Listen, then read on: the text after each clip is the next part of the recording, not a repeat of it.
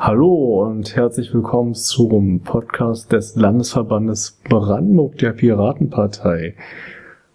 Äh, einen richtigen Namen dafür gibt es noch nicht, deswegen wollten wir am Ende der Sendung nochmal darüber debattieren, wie man die nennen könnte, aber wir wollten es jetzt einfach mal offen lassen und wollten daher anfangen. Das heißt, äh, unser Podcast ist jetzt der erste dieser Art für den Landesverband Brandenburg und ist auch gleichzeitig was ganz Besonderes, weil er beschäftigt sich mit dem Jahresrückblick für das Jahr 2011 aus der Sicht der Piratenpartei in Brandenburg. Und deswegen, um mich nochmal kurz vorzustellen, mein Name ist Sven Pinke, bin Pirat seit 2011 und ich habe heute als Gast äh, auch Pirat, schon etwas länger als ich, Christoph Brückner. Brückmann. Brückmann, Entschuldigung. ja, einen Brücken, Brückner haben wir auch. Das ist der Heiko. Nee, Quatsch, Brucker. Aber egal. Ähm, ja, Christoph Brückmann ist mein Name. Ich bin ursprünglich auch äh, in Brandenburg Pirat gewesen, inzwischen in Potsdam. Und der Podcast ist natürlich auch von daher was Besonderes, weil er unser erster ist und weil hier noch alles schiefgehen kann. Von daher sind wir sehr gespannt, wie sich am Ende das Ganze anhört. Hm. Ja. ja. Wir haben viele spannende Themen gegliedert nach äh, Chronologie. Das heißt, wir fangen an im, im Februar, weil im Januar gab es wohl scheinbar nichts Interessantes. Und geht dann weiter. Werden reden über die über die neue Landesgeschäftsstelle, die wir äh, noch gar nicht so lange haben, über den Wahlerfolg in Berlin und wie der sich auf Brandenburg ausgewirkt hat und dann am Ende schauen wir mal, was das kommende Jahr so für uns bereithält. Und äh, das erste, was wir so auf der Liste zu stehen haben, ist der Landesparteitag in Cottbus. Da muss ich jetzt dazu sagen, da war ich noch gar nicht Mitglied. Und äh, vielleicht kannst du ja ein bisschen mehr dazu erzählen, was da eigentlich genau gelaufen ist. Kann ich machen. Und zwar haben wir auf dem Landesparteitag in Cottbus unser altes Programm über den Haufen geworfen, was wir bis dahin hatten, und uns ein neues Grundsatzprogramm gegeben. Das war nämlich unser Programmparteitag. Ähm, das hatte verschiedene Gründe. Zum einen, unser altes Programm war äh, relativ schnell zusammengestrickt, war nicht wirklich grundsätzlich. Da standen ähm, Zahlen drin von aktuellen Arbeitslosenständen oder ähnliches und äh, man konnte halt ähm, Dinge dort drin lesen, die halt in, in wenigen Monaten, Jahren halt vergangen sind. Und so ein Grundsatzprogramm soll ja eigentlich immer für eine ganze Weile gelten. Und von daher haben wir unser Programm quasi da nochmal neu gestrickt ich weiß nicht, soll ich ein bisschen was erzählen, was wir ja, was beschlossen haben? Was war denn so der Grund, warum das jetzt äh, über den Haufen geworfen wurde, äh, dass er jetzt, sag ich das mal, so grundneu aufgearbeitet wurde? Warum, was war da so der ausschlaggebende Punkt? Also es war kein, es war kein Grundsatzprogramm.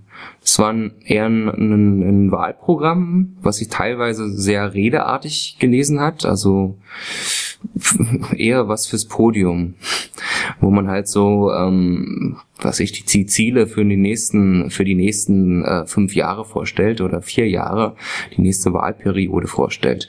Und ein Grundsatzprogramm soll ja wirklich grundsätzlich sein. Das soll Ziele enthalten, die sich die Partei gibt für die nächsten 10, 20, 30 Jahre. Wo wollen wir hin? Ähm, wo wollen oder wie verortet sich die Partei? Was will sie irgendwann mal erreichen? In welcher Gesellschaft äh, wollen wir quasi ähm, uns hinbewegen. Da war ja, zu dem Zeitpunkt hatten wir ja im Landesverband nur halb so viele Mitglieder, wie wir momentan haben. Die hatten, was waren dann so die wichtigsten Themen so zu dem Zeitpunkt? Ich sag mal, umso weniger Mitglieder man hat, dann, dann ist ja vielleicht, sind ja vielleicht die Themen so ein bisschen konzentrierter. Also ich sag mal, umso mehr Mitglieder du hast, um, umso mehr Ideen fließen ja auch immer ein. Das heißt, äh, wenn du wenn du halt doppelt so viele Leute hast, hast du eventuell doppelt so viele Ideen. Deswegen würde mich jetzt mal interessieren, was ist denn, was hat sich denn da so unter den Personen, die da mitgewirkt haben beim Landesparteitag, was hatten sich da so äh, rauskristallisiert, was so die wichtigsten Themen im Landesverband sind? Naja, die wichtigsten Dinge sind ganz klar die, ähm, die Beteiligungsansätze, dass eben Demokratie und äh, Beteiligung an der Politik äh, wieder deutlich besser von den Bürgern wahrgenommen werden kann. Und zum anderen die Transparenz, dass ähm, die Daten, die die Verwaltung haben, die Daten, die Politik, unter, unter welchen Bedingungen Politik verhandelt wird, äh, wirklich offen, äh, offengelegt werden, so dass sich jeder davon eine Meinung bilden kann und andere neue Schlüsse und Ideen daraus ähm, entwickeln kann. Das ist eigentlich so die, die, die grundsätzliche Philosophie, die, die gab es damals mit der Hälfte der Mitglieder hier so in Brandenburg und die ist ja, ähm, hat sich ja im Grunde nicht wesentlich verändert. Nein, das sind eigentlich die Sachen, die immer noch recht aktuell sind, also weswegen man immer noch in die Piratenpartei eintritt. Aus, genau. mein, aus meiner Sicht. Es mag ja sein, dass das manchmal. Es gibt natürlich äh, verschiedenste Gründe, warum man in die Piratenpartei eintreten, eintreten kann. Ähm, die können dann programmatischer Art sein, aber das ist ja ähm, eher so die Grundphilosophie, dass man sich einfach ähm, auf einfache Art und Weise beteiligen kann und mitmachen kann und wenn man die Zeit eben hat, ähm, sich voll und ganz einbringen kann und ähm, das ist eben das, was man bei anderen Parteien ähm, nicht so einfach kann, weil man sich dort eben durch die verschiedenen Hierarchieebenen erst durchkämpfen muss. Und bei der Piratenpartei gibt es eben flache Hierarchien, da ist der Vorstand eben nur ähm, ein organisatorischer Vorstand. Und ähm, diese Grundansätze ähm, haben wir nochmal so ein bisschen in, auf, dem, auf dem Parteitag in ein in, in Programm gegossen. Hinzu kamen dann verschiedene andere Dinge, wie zum Beispiel Datenschutz, verschiedene Dinge aus dem Bereich Bildung und Wissenschaft, ähm, ein kurzes, knackiges äh, Wirtschaftsprogramm ähm, und ein paar Dinge zum Sozialen. Da haben wir auch den Reset-Antrag, den Recht auf Existenz und sichere Teilhabe, den wir zuvor im, auf dem Bundesparteitag in äh, Chemnitz beschlossen haben, auch ins Brandenburger Parteiprogramm übernommen. Dann hatten wir uns ein paar Punkte zu Umwelt und Energie und zu Bauen und Verkehr gegeben. Und wenn ich jetzt so sehe, wie andere, also sag ich mal, Landesverbände ihr Programm so stricken, ich sag mal, Berlin war ja wirklich auch sehr erfolgreich und äh, wurden da bereits schon Sachen von anderen Verbänden übernommen, wenn man, wenn man sagt ja auch gerade bei Piraten, äh, gute Ideen kann man ruhig kopieren. Äh, hat man das da zu dem Zeitpunkt schon gemacht oder hat man sich da mehr versucht, äh, auf eigene Ideen zu stützen? Teils, teils. Also es gibt gewisse Dinge, die sind wirklich geklaut oder kopiert. Eben den Reset-Antrag, den ich gerade äh, angesprochen habe, kurz, der kommt vom Bund, der kommt ursprünglich aus Berlin. Ähm, dann gibt's aber auch eigene äh, Dinge, die wir komplett eigens entwickelt haben. Das ist zum Beispiel das äh, Umweltprogramm oder also so ziemlich alles eigentlich aus dem aus dem Grundsatzprogramm haben wir selbst uns nochmal neu erdacht. Ähm, ja, sehr kontrovers, vielleicht auch ein bisschen das Wirtschaftsprogramm, da hatten wir ähm, es ist halt bloß ein kurzer Absatz.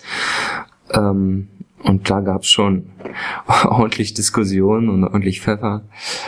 Aber viele Dinge waren noch ziemlich einvernehmlich, zum Beispiel Bauen und Verkehr. Naja. Na, wie du auch schon gesagt hast, Umwelt ist, also ich sehe auch immer, Umwelt ist ziemlich breittragende Rolle bei den Piraten. Man, man sagt ja den Piraten immer so eine extreme Internetaffinität nach. Und äh, ich sag mal, man kann ja ziemlich grob einigen Parteien immer ein, Schlagwort zuordnen. Das ist jetzt bei den Piraten, sag ich mal, Internet und bei den Grünen wäre das jetzt Grün. Aber bei den Piraten bitte genauso, äh, bei den Grünen wäre es äh, Umwelt. Entschuldigung. Äh, aber was ich mal so feststelle, das sehe ich auch äh, da im Programm, dass Umwelt auch beim Piraten enorm groß geschrieben wird. Äh, da fällt mir gerade ein Zitat ein von von dem Chefredakteur vom Stadtfernsehen Brandenburg äh, gegenüber Sven Weller, als er bei der Ober Oberbürgermeisterkandidatur interviewt wurde. Äh, Sie sind ja grüner als die Grünen, war das Zitat. Und äh, das zeigt sich ja auch in, in anderen Aktionen. Ich sag mal, äh, um mal gleich zum nächsten Thema zu kommen. Wir hatten dieses Jahr war ja, war ja wirklich von Katastrophen so gebeutelt und gerade Anfang des Jahres, äh, zum Glück keiner so schnell vergessen, gab es die unglaubliche Katastrophe in Japan, das äh, Kernkraftwerk äh, Fukushima, was da vom Tsunami überrollt wurde. Und äh, da ließ natürlich auch die Piratenpartei, sag ich mal, nicht locker, oder das hat die nicht kalt gelassen, weil, weil gerade bei, bei nicht bei dieser, bei dieser Aspekt äh, Umwelt und insbesondere auch Kernenergie, was man wirklich eher so den Grünen zuschreiben würde, was doch bei uns eine unglaublich zentrale Rolle spielt eigentlich, ja. Das würde ich, also ich persönlich, bevor ich der Piratenpartei beigetreten bin, habe das gar nicht so äh, wahrgenommen, dass die sich dafür so, so krass einsetzen. Aber dann gab es ja dann auch äh, diverse Mahnwachen im Land Brandenburg, äh, die sich dann damit äh, im Gedenken an die Opfer der Japan-Katastrophe auseinandergesetzt haben. Genau. Also wir haben selbst zum Beispiel in der Stadt Brandenburg gemeinsam mit den Grünen die äh, Mahnwache hier organisiert. Ähm, da gab es Mahnwachen in ganz Deutschland und die Piraten waren an vielen beteiligt, auch in Brandenburg. Ähm, und haben teilweise selbst mit organisiert. Ja, ähm, ich glaube, das hat niemand kalt gelassen, was damals in Japan passiert ist.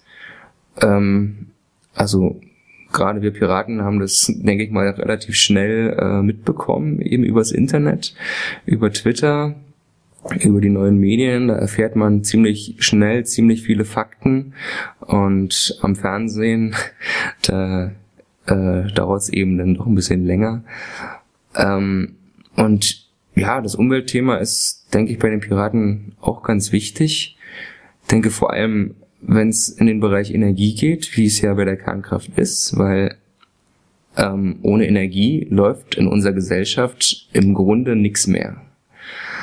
Ähm, ohne Energie fährt kein Auto, ohne Energie geht natürlich auch kein Internet, geht keine IT. Ähm, von daher äh, muss man sich natürlich als Pirat auch überlegen, ähm, wie die Zukunft aussehen soll, wie wir sicherstellen können, dass eben die Gesellschaft weiterhin ähm, von ja von von Energie versorgt werden kann.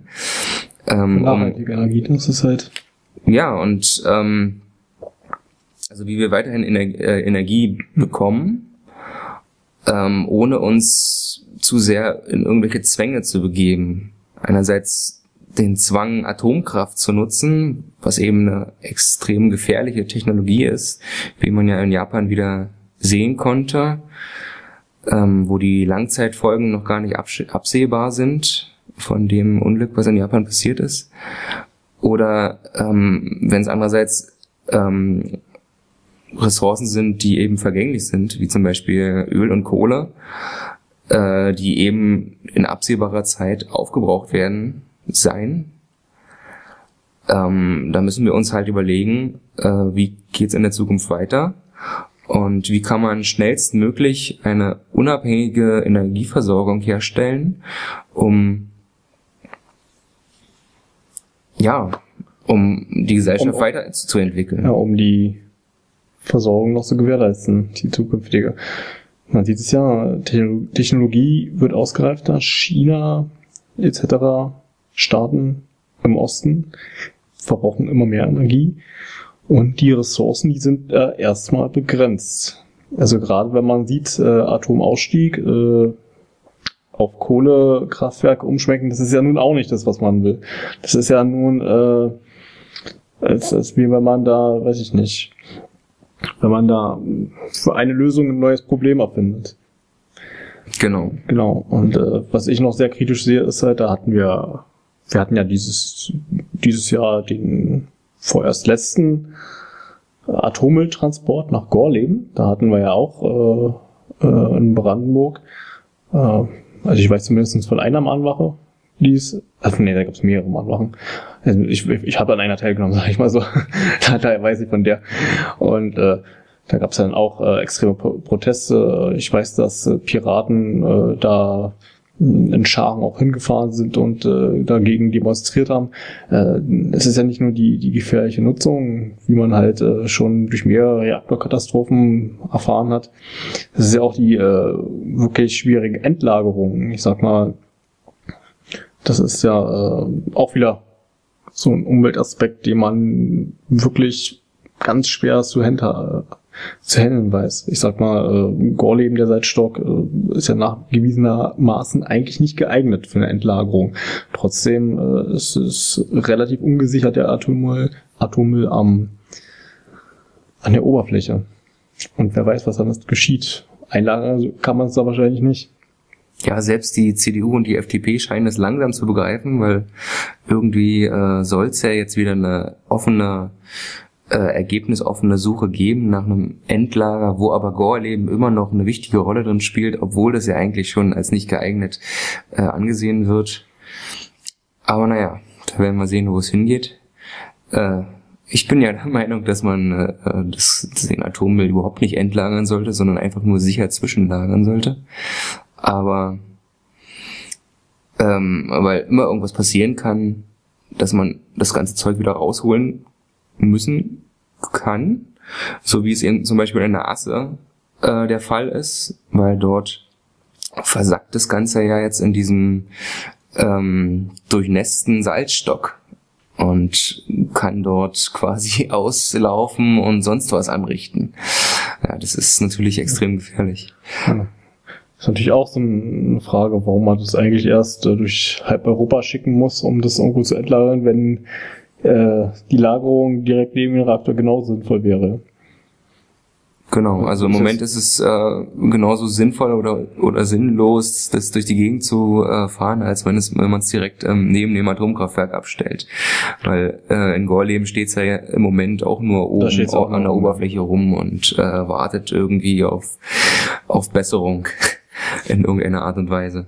Die momentan noch nicht in Sicht ist.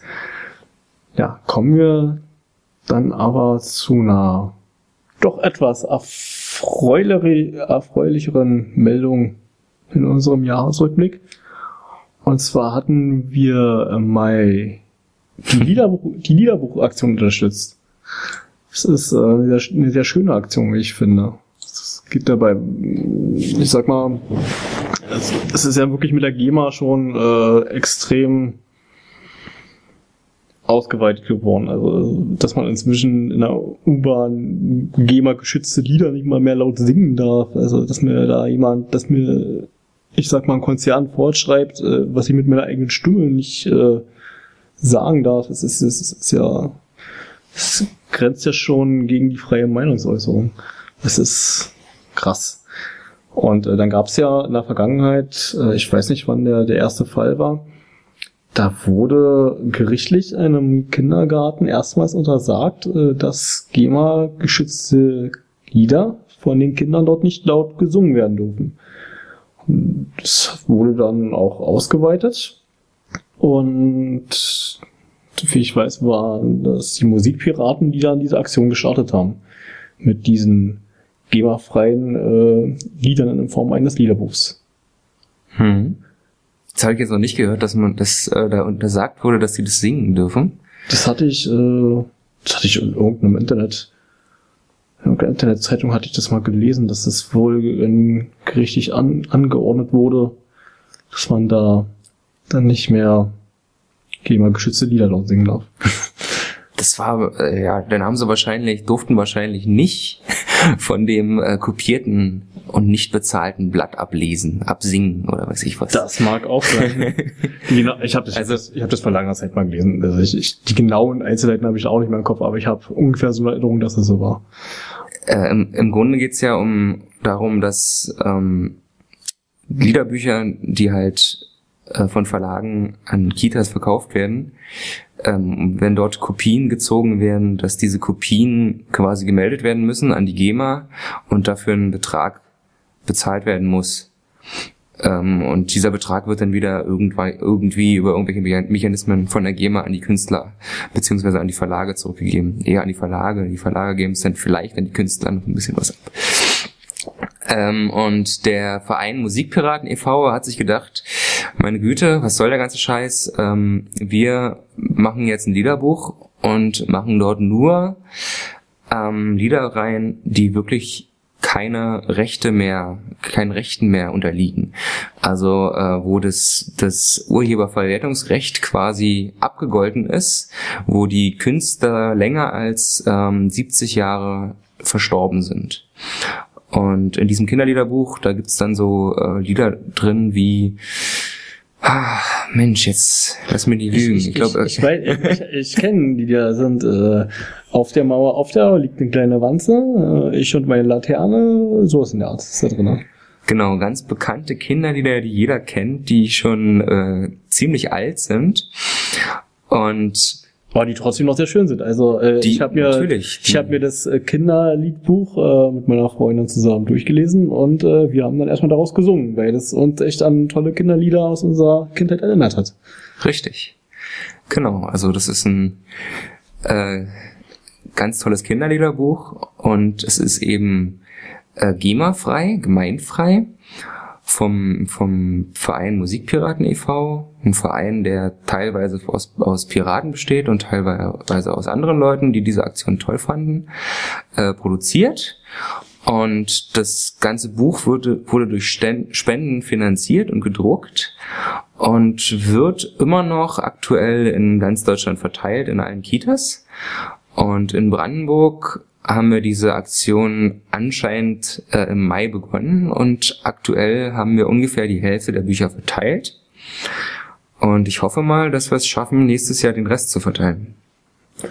Ich hatte auch als Kritikpunkt gehört, um das mal kritisch anzumerken, es wurde ja irgendwie auch den Piraten unterworfen, dass sie damit Parteiwerbung äh, betreiben, indem die die Kinder den Kindern diese GEMA-freien Bücher dann unterjubeln sozusagen. Ähm, kann ich irgendwie nicht so ganz bestätigen, weil ich habe nachgeguckt und in dem Buch ist nicht einmal irgendwie von Piraten und Partei irgendwo die Rede. Doch, hinten bei den Spendern. Bei den Spendern. Dann habe ich das übersehen. Aber, genau. Aber äh, es ist halt kein Piratenparteibuch, da steht auch, äh, sind auch, ist auch die AWO drin oder ähm, ich weiß nicht, wer da alles gespendet hat. Da stehen einfach nur die äh, Spender drin, äh, die halt hohe Beträge gespendet haben. Die sind hinten noch aufgelistet, aber steht jetzt nicht vorne Piratenpartei drauf oder äh, irgendwas in der Art. Das ist ja, wie gesagt, von dem Verein der Musikpiraten äh, gemacht und äh, die Piratenpartei verteilt einfach die Bücher nur. Quasi als Logistik. Ja, und die äh, das, die, die Idee halt dahinter, dass man ähm, gemeinfreie Bücher hat, die dann eben beliebig kopiert werden dürfen von den Kitas, wo sich niemand Sorgen machen muss, oh, kann ich das jetzt kopieren? Äh, muss, was muss ich jetzt aufschreiben? Okay, 50 Kopien oder so. Und dann das wieder irgendwie Bescheid geben an irgendjemanden, der da ähm, das vermerkt und äh, dann die Rechnung schreibt, je nachdem an die Kita oder an die Landesregierung.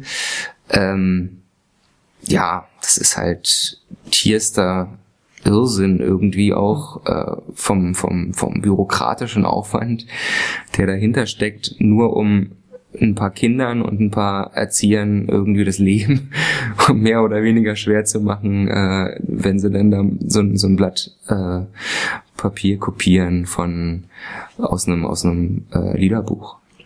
Ich finde auch dieses äh, Kinderliederbuch, das zeigt auch sehr gut äh, ein Kernthema der Piraten auf. Das ist nämlich das Urheberrecht oder besser gesagt die Lockerung des Urheberrechts. Da habe ich auch äh, letztens eine sehr interessante Diskussion verfolgt. Und es ist wirklich, wie ich schon sagte, 70 Jahre nach dem Tod des Urhebers. Äh, das ist schon eine enorm krasse Regelung. Wenn ich jetzt überlege, ich finde irgendwas, weiß ich nicht, ich finde Rolling Stones toll, die lange vor meiner Geburt schon weltberühmt waren, also schon Jahrzehnte davor. Ich bin Ende der 80er geboren. Und äh, wenn die tot sind, hm, weiß ich nicht, das, das könnte ich gar nicht mehr miterleben, dass, äh, dass es irgendwann mal äh, urheberrechtlich dann äh, geregelt werden würde, weil 70 Jahre nach, nachdem Mick Jagger da irgendwann mal äh, vor einer Laterne springt, äh, weiß ich nicht. Das ist ja, das ist ja totaler Irrsinn, sage ich mal. Ja. Das, äh, da habe ich ja zu Lebzeiten nichts mehr von. Nein, zu Lebzeiten hast du da nichts mehr von. Ähm, und das, das Problem ist ja eigentlich nicht, ähm, dass, dass man das nicht, äh, also im Grunde ist ja diese, dieses 70-jährige Urheberverwertungsrecht, man muss es ja trennen, das Urheberrecht ist ja, oder das Urhe gibt ja dieses Urhebernamensrecht, was halt ähm, immer den Künstler als Erschaffer dieses, äh, dieses Werks betitelt.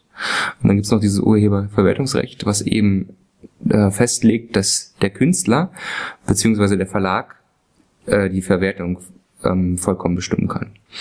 Und äh, das Problem ist, dass, dass man zum Beispiel von, von solchen Titeln ja auch äh, keine privaten Kopien mehr wirklich machen darf.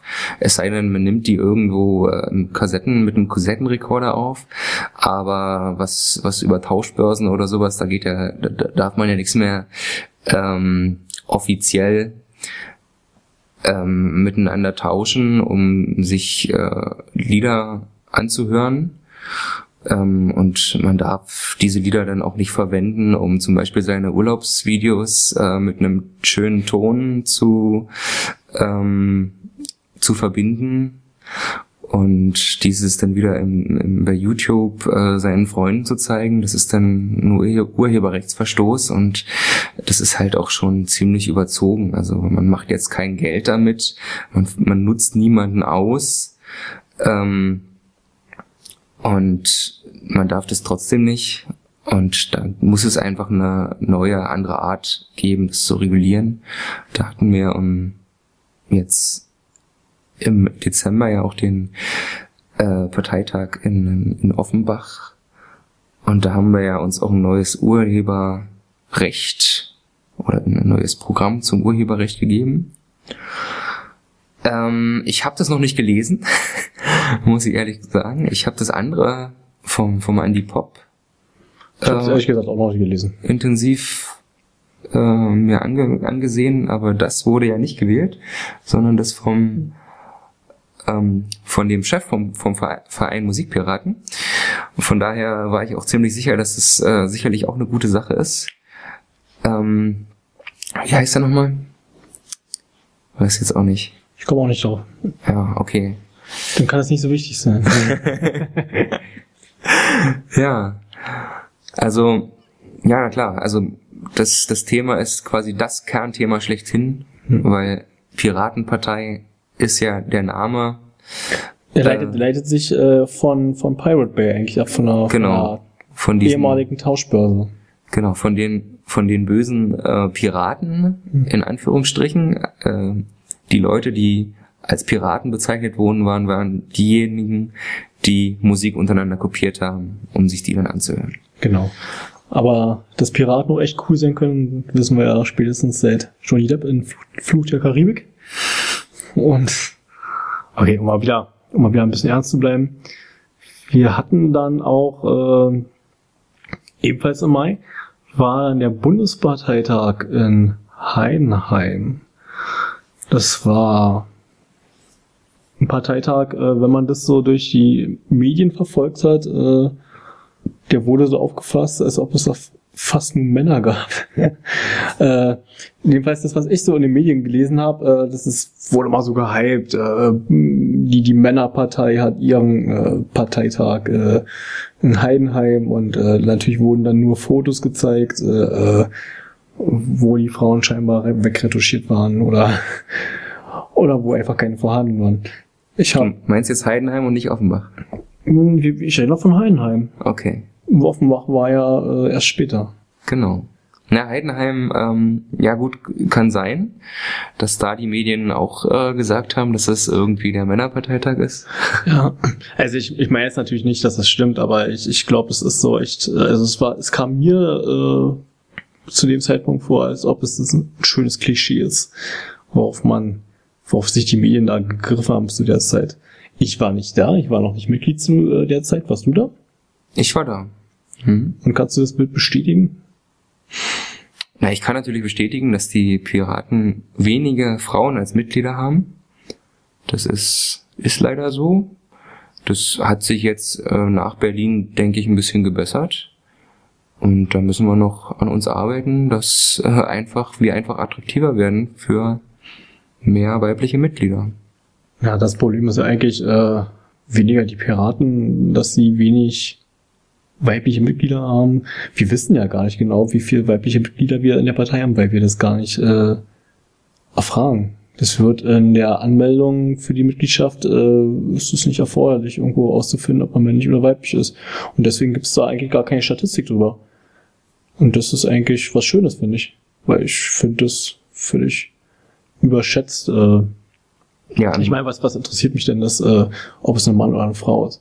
Ich habe äh, ich habe vor einiger Zeit äh, war ich in der Straßenbahn, bin ich Straßenbahn gefahren, habe natürlich auch einen Fahrschein geholt, bei fahrscheinlosen äh, öffentlichen Nahverkehr gibt's ja noch nicht, wie wir den fordern. Jedenfalls hing da so ein Plakat. Es, es, es war ein Werbeplakat von der Bundeswehr. Und äh, ja, seitdem es den Wehrdienst nicht mehr gibt, finde ich übrigens gut, äh, na, da haben die wohl so ein bisschen Mangel an, an neuen Rekruten. Und da steht drunter, Frauen werden bei gleicher Qualifikation bevorzugt eingestellt. Und ich weiß noch, wo ich äh, bei der Bundeswehr war. Das war 2009. Äh, da wurde uns gesagt, äh, es wird eine, ein 50-50-Ausgleich bei der Bundeswehr zum Beispiel angestrebt äh, vom äh, Männer-Frauen-Gehalt, dass es einfach gleichberechtigt ist, äh, das äh, aufgeteilt ist.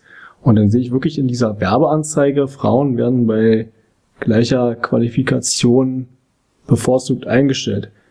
Wenn man sich jetzt überlegen würde, dass es irgendwo eine Werbeanzeige geben würde, wo drauf steht, Männer werden bei gleicher Qualifikation bevorzugt eingestellt.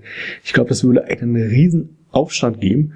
Und äh, ich persönlich finde es gut, dass es bei Piraten, man sagt immer, Postgender zugeht, dass es da eigentlich egal ist, wer was ist, weil es hat, äh, dein Geschlecht hat ja mit deinen Qualifikationen eigentlich nichts zu tun.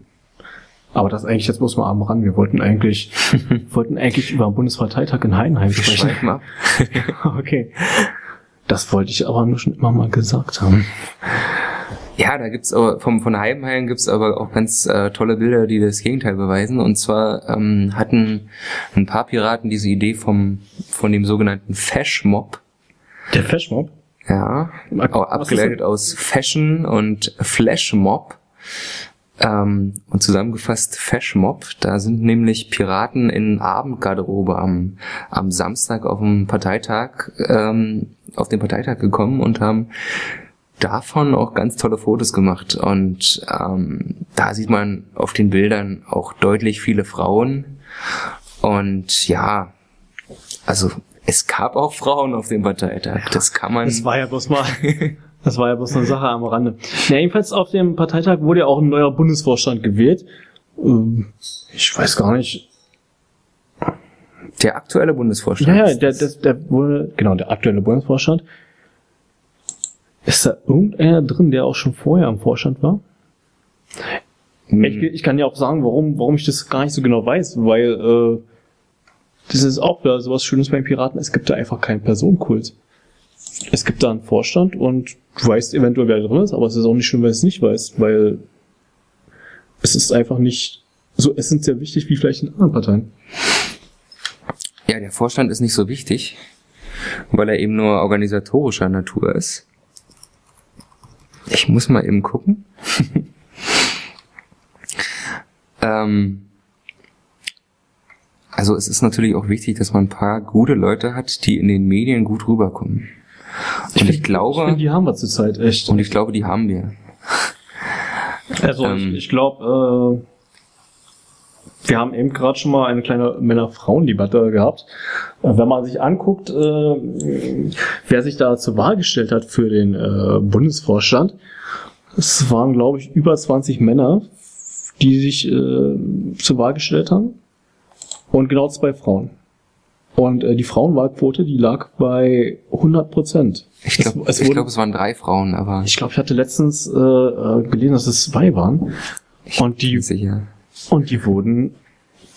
Ich möchte nicht, ich möchte behaupten, dass es zwei waren, weil es, äh, weil die, so, weil die Frauenwahlquote äh, dann 100 Prozent bet betrug. Das heißt, die zwei Frauen, die sich jetzt vorgestellt haben, die sind auch äh, in den Bundesvorstand gewählt worden. Da kommen wir wieder zu dem Punkt, bei gleicher Qualifikation werden Frauen bevorzugt eingestellt. Mehr oder Ich, ich, gehe, ich gehe davon aus, dass die gleich Ich glaube, qualifiziert waren. ich glaube, ähm, die äh, Marina und die Gefjon waren aber auch sehr qualifiziert.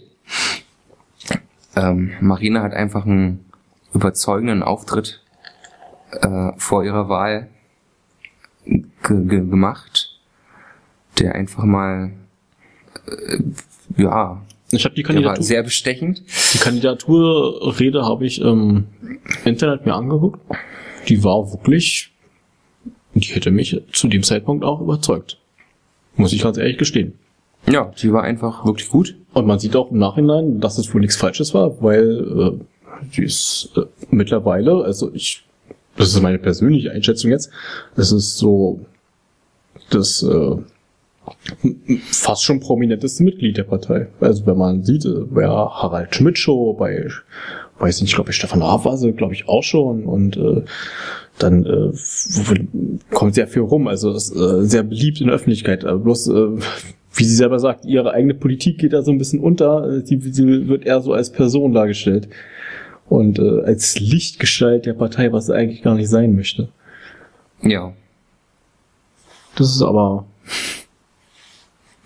Ja, also Sie, äh, Sebastian und, und vor allem auch Christopher Lauer sind, glaube ich, die Mitglieder, die so am meisten im Fernsehen gezeigt werden. Ähm, ähm, wobei Christopher Lauer ja jetzt kein Bundesvorstandsmitglied mehr ist, sondern ähm, in der Berliner Piratenfraktion. Wir haben hier gerade mal die, die Mitglieder des Bundesvorstands äh, die, die Seite im Wiki aufgemacht und um mal zu gucken, äh, wer aus dem alten Vorstand eigentlich noch im, im, im Vorstand in Heim, Heidenheim gewählt wurde und das war Bernd, sehe ich gerade. Bernd Schlömer war nämlich vorher Schatzmeister und war, wurde jetzt zum stellvertretenden Vorsitzenden. Ja. Also er konnte quasi die, zumindest die Erfahrung aus dem alten Vorstand einbringen. Ja, und nach Heidenheim war es ja dann noch relativ ruhig. Ich denke mal, da konnten sich die Vorstände relativ gut einarbeiten, bis es dann vor Berlin und nach Berlin richtig losging und richtig Trouble war mit Sicherheit, richtig viel zu tun. Insbesondere für diejenigen, die halt äh, auch von der Presse besonders angefragt werden, was ja dann vor allem Sebastian und Marina aus dem Vorstand sind. Ja, in Brandenburg haben wir auch seit der Berlin-Wahl einige Anfragen. Genau. Ja. In Brandenburg war Micha auch diverse Male äh, im Interview. Du meinst jetzt Michael Hensel? Michael Hensel, genau, unser Landesvorsitzender. Der war auch diverse Male im Interview, Ah, ich- zum Beispiel auch im RBB-Abendprogramm Ja, ich habe hab ihn, glaube ich, weiß nicht, wo habe ich ihn gesehen? Bei Clip und Klar oder? Ich habe ihn mal bei RBB auch gesehen. RBB-Abendschau Abschau. war er. Okay. Genau, nach Berlin hat sich so einiges getan. Ich hoffe, das Klicken hört man nicht, wenn ich hier rumklicke. Und wenn doch, dann Wir behaupten einfach, dass es ein gewollter Soundeffekt ist. genau, das ist ein Soundeffekt. Okay. Bundesparteitag. Was gab's dann noch außer die Wahl zum Bundesvorstand? Gab's da irgendwas wirklich erwähnenswertes noch, was man jetzt unbedingt hervorheben müsste? Weil ich, ich glaube, die, also ich weiß es gar nicht, wie viel beim letzten in Offenbach dabei waren, aber ich glaube, es waren doppelt so viele wie, äh, also ich meine es gehört zu haben, dass es äh, doppelt so viele waren wie in Heidenheim. Ich glaube, in Heim, Heidenheim waren 800. Also doppelt so viele waren es nicht. Aber es waren schon deutlich mehr. Und das auf einem Programmparteitag. Und äh, aus irgendwelchen Gründen, mir nicht erklärlichen Gründen, sind äh, Personenwahlparteitage immer besser besucht als Programmparteitage. Und von daher ist es schon, ja, beachtlich, dass jetzt auf dem Parteitag in Offenbach 1300 Mitglieder waren. Und in Heidenheim nur 800. Wir hatten ja dann auch. Aber das war ja vor der Berlin-Wahl noch. Ah, das war noch vor der Berlin-Wahl. Das ist, ich denke mal, das wird so ausschlaggebend gewesen sein. Ja, der zweite, der zweite äh, Parteitag war ja auch äh, recht nah an der Berlin-Wahl dran. Da war dieser Hype wirklich noch zu spüren. Der wurde ja auch, äh, ich glaube, auf Phoenix gab es da auch eine echt, äh, aus meiner Sicht doch gar nicht so schlechte Reportage über den Parteitag, die live war. Die hat mir gut gefallen, habe ich verfolgt, weil ich konnte, ich hatte mein Arbeitswochenende da, ich konnte natürlich nicht nach Offenbach mitfahren. Und äh, man konnte es auch trotzdem ganz gut verfolgen. Ich habe es äh, über, über Stream verfolgt und dann noch, wie gesagt, in der Reportage und das war schon, man hat schon gemerkt, dass das ein bisschen was in der Luft liegt.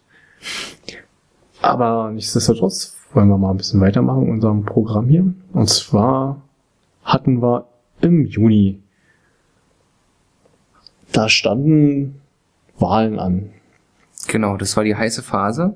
Da standen nämlich in Brandenburg an der Havel und in Jüterbock Wahlen an. Und es war einmal die Wahl zum Oberbürgermeister in der Stadt Brandenburg an der Havel und die Wahl zum Bürgermeister in Jüterbock. Jeweils kandidiert haben dafür Sven Weller von der Piratenpartei, der auch äh, Landesvorstandsmitglied ist. Er ist dann nämlich äh, der politische Geschäftsführer. Und dann noch Ron Matz, der als Bürgermeister für Jüterbock kandidiert hat. Weißt du, ob der irgendwie ein Amt hat? Der hat kein Amt, der ist Basispirat, der war mal im Landesvorstand. Der war mal. Das ist aber schon eine Weile her. Genau. Ich glaube, ich glaube, äh, die hatten da noch gar keinen äh, Kreisverband. Richtig, haben sie immer noch nicht. Also ähm, Telto Fleming hat noch keinen Kreisverband, aber mal schauen im nächsten Aber der soll nächstes Jahr kommen. Es gibt ja schon, äh, wir haben ja eine Mailingliste äh, Brandenburg. Wir haben eigentlich für alles mögliche eine Mailingliste, aber wir reden jetzt mal von der von Brandenburg. Das muss man sich so vorstellen wie äh, äh, ein E-Mail-Verteiler, wo man sich eintragen kann und dann äh, kann man da halt äh, sich Nachrichten austauschen und das ist gerade was Telto Fleming betrifft, äh, da merkt man schon, dass die Leute das da wollen und äh, das, ich denke mal schon, dass es dann nächstes Jahr relativ zeitnah kommen wird. Schauen wir mal. Ich gehe mal von aus, wir, wir gucken, wir versprechen natürlich nichts. Äh, wir wollen nicht dieser in dieses Jahr versprochen haben. Jedenfalls gab es diese Wahlen. Genau. Und bei den Wahlen, da musste auch eine ganze Menge vorbereitet werden. Genau. Also, ich sag mal, es ging ja von, das fängt ja schon bei ganz einfachen Sachen an. Also, ich sag mal, man muss erstmal zu so einer Wahl zulassen werden. Es geht ja, äh, es geht ja eigentlich gar nicht. Du kannst nicht einfach hingehen und sagen, hier wird mich, du musst ja erstmal, ich, so viel ich weiß, mussten wir für Sven, habe ich noch Erinnerung, da mussten Unterschriften erstmal gesammelt werden. Das war, glaube ich, der, das ist der erste auf dem Programmpunkt. Wie viele Unterschriften waren es denn? Also erstmal muss er überhaupt angemeldet werden. Da gab es eine Reihe von Formalien, damit er überhaupt Unterschriften sammeln darf. Das ist dieses Prozedere ist im, im Grunde bei allen Wahlen, äh, Bürgermeisterwahlen gleich gewesen. Man, man muss halt den Kandidaten be- benennen.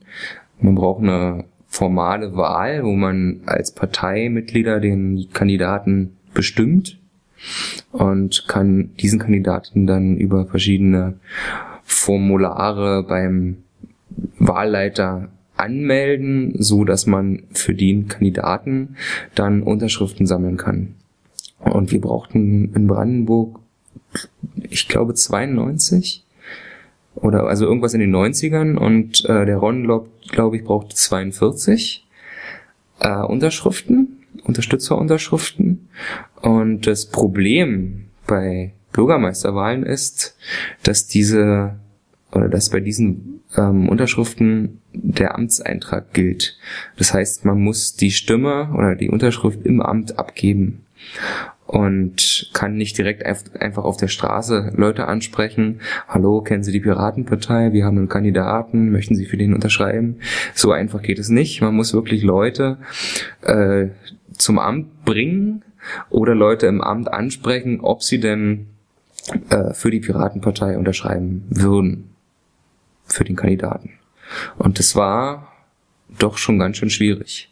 Das war ziemlich aufwendig, aber es hat dann doch letztendlich geklappt für beide. Das hat geklappt. Sven hat sich sehr viel Zeit genommen. Der hat quasi jeden Tag vorm Amt gestanden und Unterschriften gesammelt.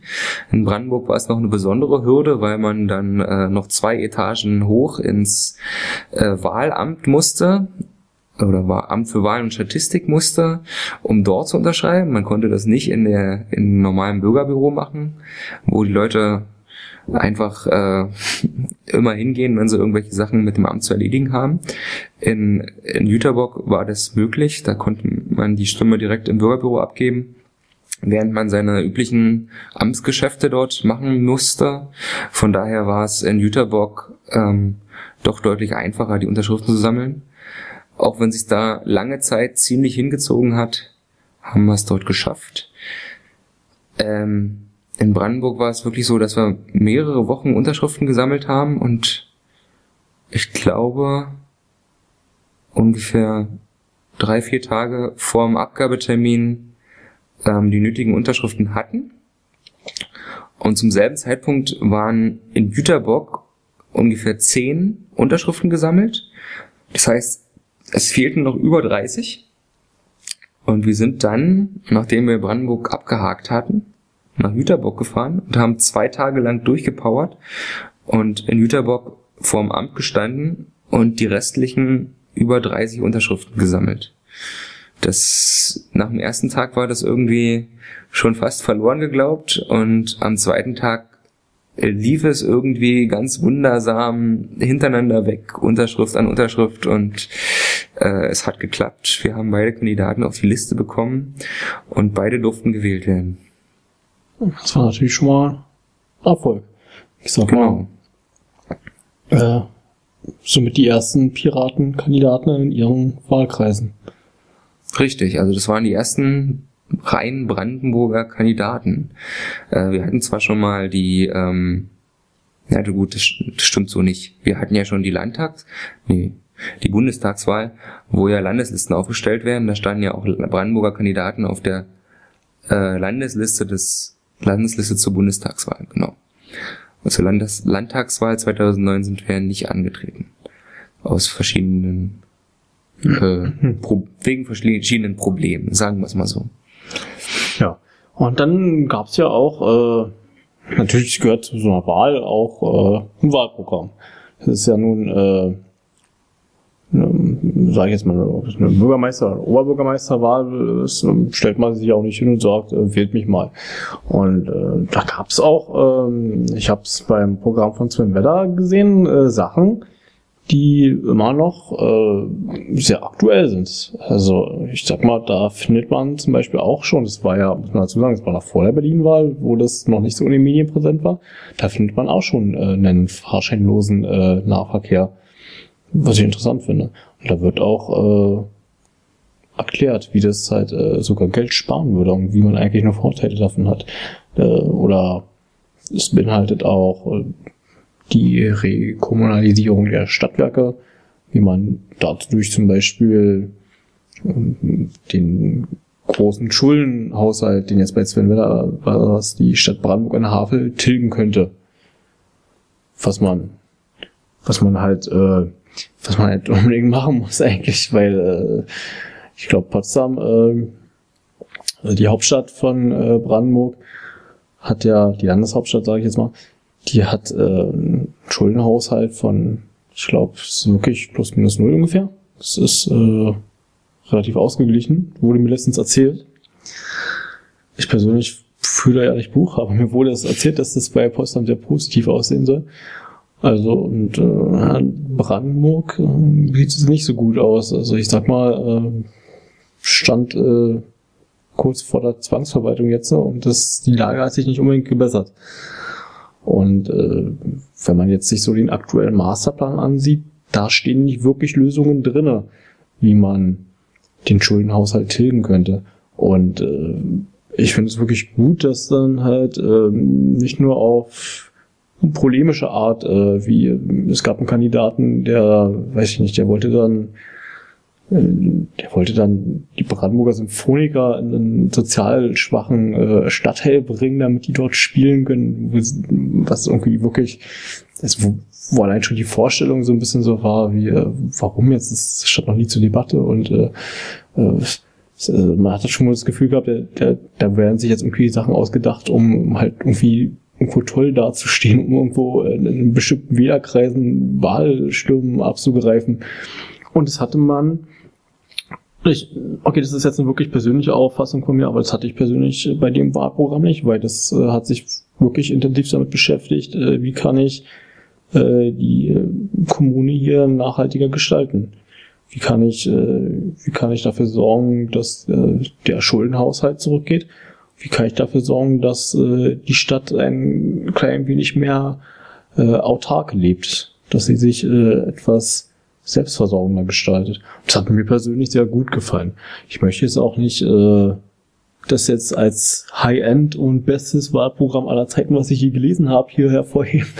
Aber äh, das war, also ich war jemand, der aus Berufswegen äh, den Wahlkampf sehr stark mitverfolgt hat in Brandenburg an der Havel und das ist das, was mir dabei aufgefallen ist. Ja, Sven hat versucht mit seinem Programm auf jeden Fall Ideen einzubringen, wie man die den schlechten Haushalt dann irgendwie sanieren könnte, indem man einfach die, äh, also nicht einfach, indem man halt ähm, versucht, ähm, die Eigenanteile der Stadt wieder zu erhöhen, um die Gewinne für den Haushaltsausgleich ähm, zu verwenden, quasi. Also es gab ja verschiedene Konzepte, auch mit das mit dem kostenlosen äh, öffentlichen Personennahverkehr ist ja auch ähm, nicht, nicht kosten, es ist, heißt, heißt ja nicht es kostenlos, es heißt ja fahrscheinlos, Fahrschein, das ist ja das, genau. das Wichtigste dabei. Ähm, das ist ja auch ähm, eine, Entbürokratisierung des Ganzen, indem man halt sagen würde, man macht eine Stadt eine Stadtabgabe zum Beispiel von einem gewissen Geldbetrag pro Monat pro Person, äh, die man halt bezahlen muss, um die ähm, die, die, die Bahn oder die, den öffentlichen Nahverkehr zu nutzen und äh, schafft dafür die ganze Bü Bürokratie Bürokratie rundherum ab, die Kontrolle von Fahrscheinen, die ähm, Verwaltung dieser ähm, Automaten und alles, was da drumherum ist, weil im Endeffekt würde das halt weniger Geld kosten, wenn man das über eine einfache Abgabe finanzieren würde. Und äh, vom öffentlichen Personennahverkehr hat irgendwie jeder was. Auch derjenige, der nur mit dem Auto fährt, hat was davon, weil es dann denn viel weniger Autos auf der Straße gibt und der viel schneller von A nach B kommt. Und er hat mehr Parkplätze. Und er hat mehr Parkplätze. Genau. Ja, das sehe ich genauso. Das ist eine, für mich, also als ich erstmal darüber nachgedacht habe, ich finde, das ist eine sehr gute Lösung. Ich sehe, dass es auch in anderen Städten funktioniert. Meine Eltern, die waren 2006 in Perth, das ist in Australien. Da gibt es sowas ähnliches. Da gibt es äh, Buslinien, die fahrscheinlos sind, die dann äh, genau auf diesem Weg wohl bezahlt werden. Und die waren total begeistert davon. Also es ist auch, es macht eine Stadt wohl auch wesentlich attraktiver, wenn man sowas hat. Sicherlich, also für, für die Touristen ist es natürlich auch einfacher.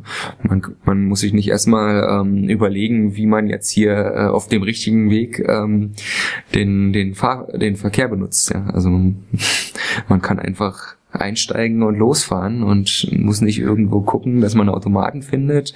Wenn man jetzt eine andere Sprache hat, dass man da irgendwie durchsieht. Ähm, durch die deutschen, beziehungsweise wenn sie denn vorhanden sind, englischen Begrifflichkeiten von Tageskarten und Einzelkarten und sonst was.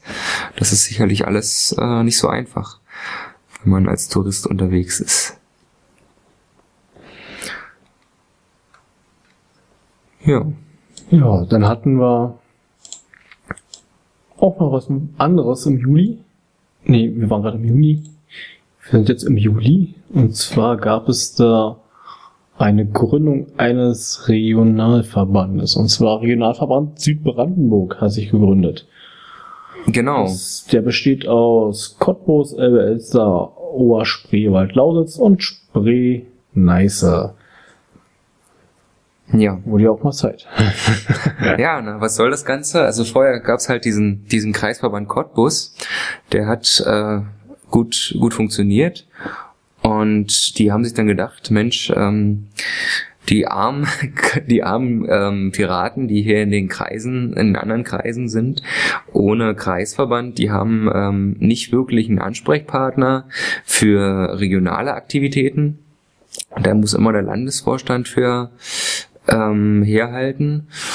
Und deswegen äh, ist solche Strukturarbeit, denke ich, durchaus sinnvoll, dass man einfach einen, äh, einen, einen ja, einen Vorstand hat, wo man einfach mal schneller und, und verteilter ähm, organi organisieren kann, also verschiedene Aktionen planen kann und ähm, man nicht immer ähm, an, den, an denselben an denselben Vorstand tritt, der sich dann irgendwie mit allen Sachen beschäftigen muss und äh, von den regionalen Gegebenheiten nicht wirklich Ahnung hat. Von daher wurde da der Kreisverband Südbrandenburg, äh, der Regionalverband Südbrandenburg gegründet, der jetzt zumindest mal die südliche Region abgedeckt hat. Ähm, und kurze Zeit später kam ja dann auch der Regionalverband äh, Dame oder Spree ähm, wo sich der, der Frank auch sehr drum gekümmert hat, der da der Vorsitzende ist, dass da ein Kreisverband aus den Kreisen Dame Spreewald, Oder Spree und Frankfurt Oder gegründet wurde. Und dann, damit war eigentlich der ganze Süden von, von Brandenburg schon mal versorgt, grundsätzlich, was die Struktur angeht. Genau. Jetzt haben wir, wir haben es ganz am Anfang schon mal gesagt, wir haben jetzt schon wesentlich mehr Mitglieder in Brandenburg, Tendenz steigend. Ich könnte mir durchaus vorstellen, dass dann die, dass sich der Regionalverband dann auch ein bisschen spaltet, dass es dann nochmal kleinere Verbände geben wird, statt einen großen Regionalverband Süd. Aber ich glaube, das wird sich auch erst zeigen.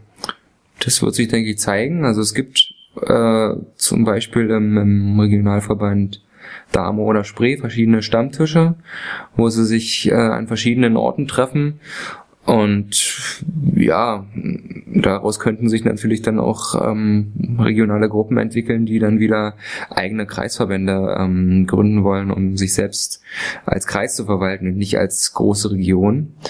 Aber das müssen die äh, Leute dort selbst sehen, ob sie das so, wie sie es jetzt haben, ähm, gut finden oder ob sie sich doch wieder trennen wollen. Ähm, Jetzt vor kurzem hat sich ja noch der Regionalverband Barum gegründet, der Barnim, Barnim genau, Uckermark. Die, die, Verbindung aus Barnim und Uckermark.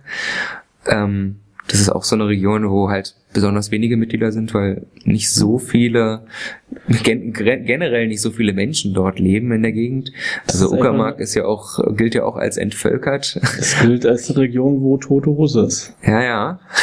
Um es mal, und auch wenn jetzt Ich bin auch auf die Gefahr, dass mich jetzt äh, jeder Barnim und Uckermerker verdammen wird, dass ich seine Region schlecht rede, aber es ist wirklich so, dass äh, das nicht, nicht nur in, in Land Brandenburg, sondern deutschlandweit als wirklich eine ziemlich entvölkerte Region gilt. Und ich glaube aber, dass das vielleicht gerade für Piraten eine Möglichkeit ist, zu beweisen, was man in so einer äh, schwierigen Situationen vielleicht machen kann, was man da an, an neuen Ideen äh, vielleicht in so eine Region bringen kann, weil Piraten gelten ja auch als sehr ideenreich.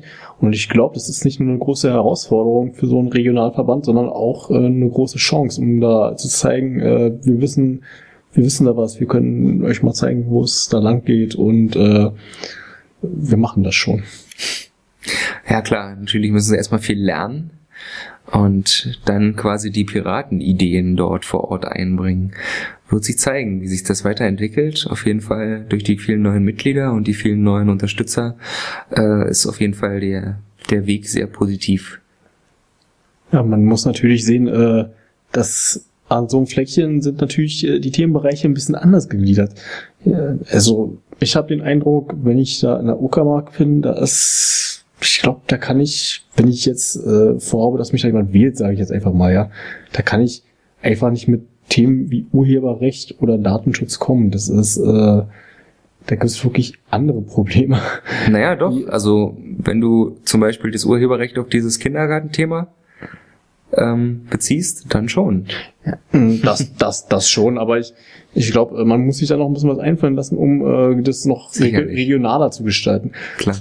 Das ist persönlich ein Kritikpunkt äh, von mir, den ich immer relativ mehr, mehr oder weniger groß sehe, dass, äh, dass äh, die Piratenpartei sich immer noch äh, teilweise kleiner gestalten muss, also dass es noch viel stärker regionaler bezogen werden muss.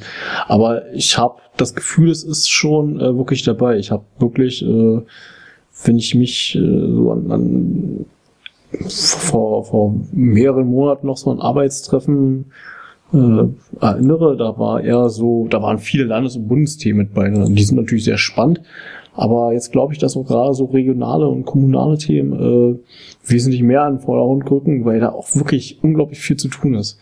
Und äh, ich glaube, wie ich schon gesagt habe, dass man da wirklich auch in so einer Region, die äh, wie Barnim Uckermark, die wirklich schwierig ist, äh, dass man damit dann ganz dolle punkten kann. Ja, also natürlich fangen die Probleme im Kleinen an und die regionalen Themen sind natürlich auch die Themen, die die Leute direkt vor Ort betreffen.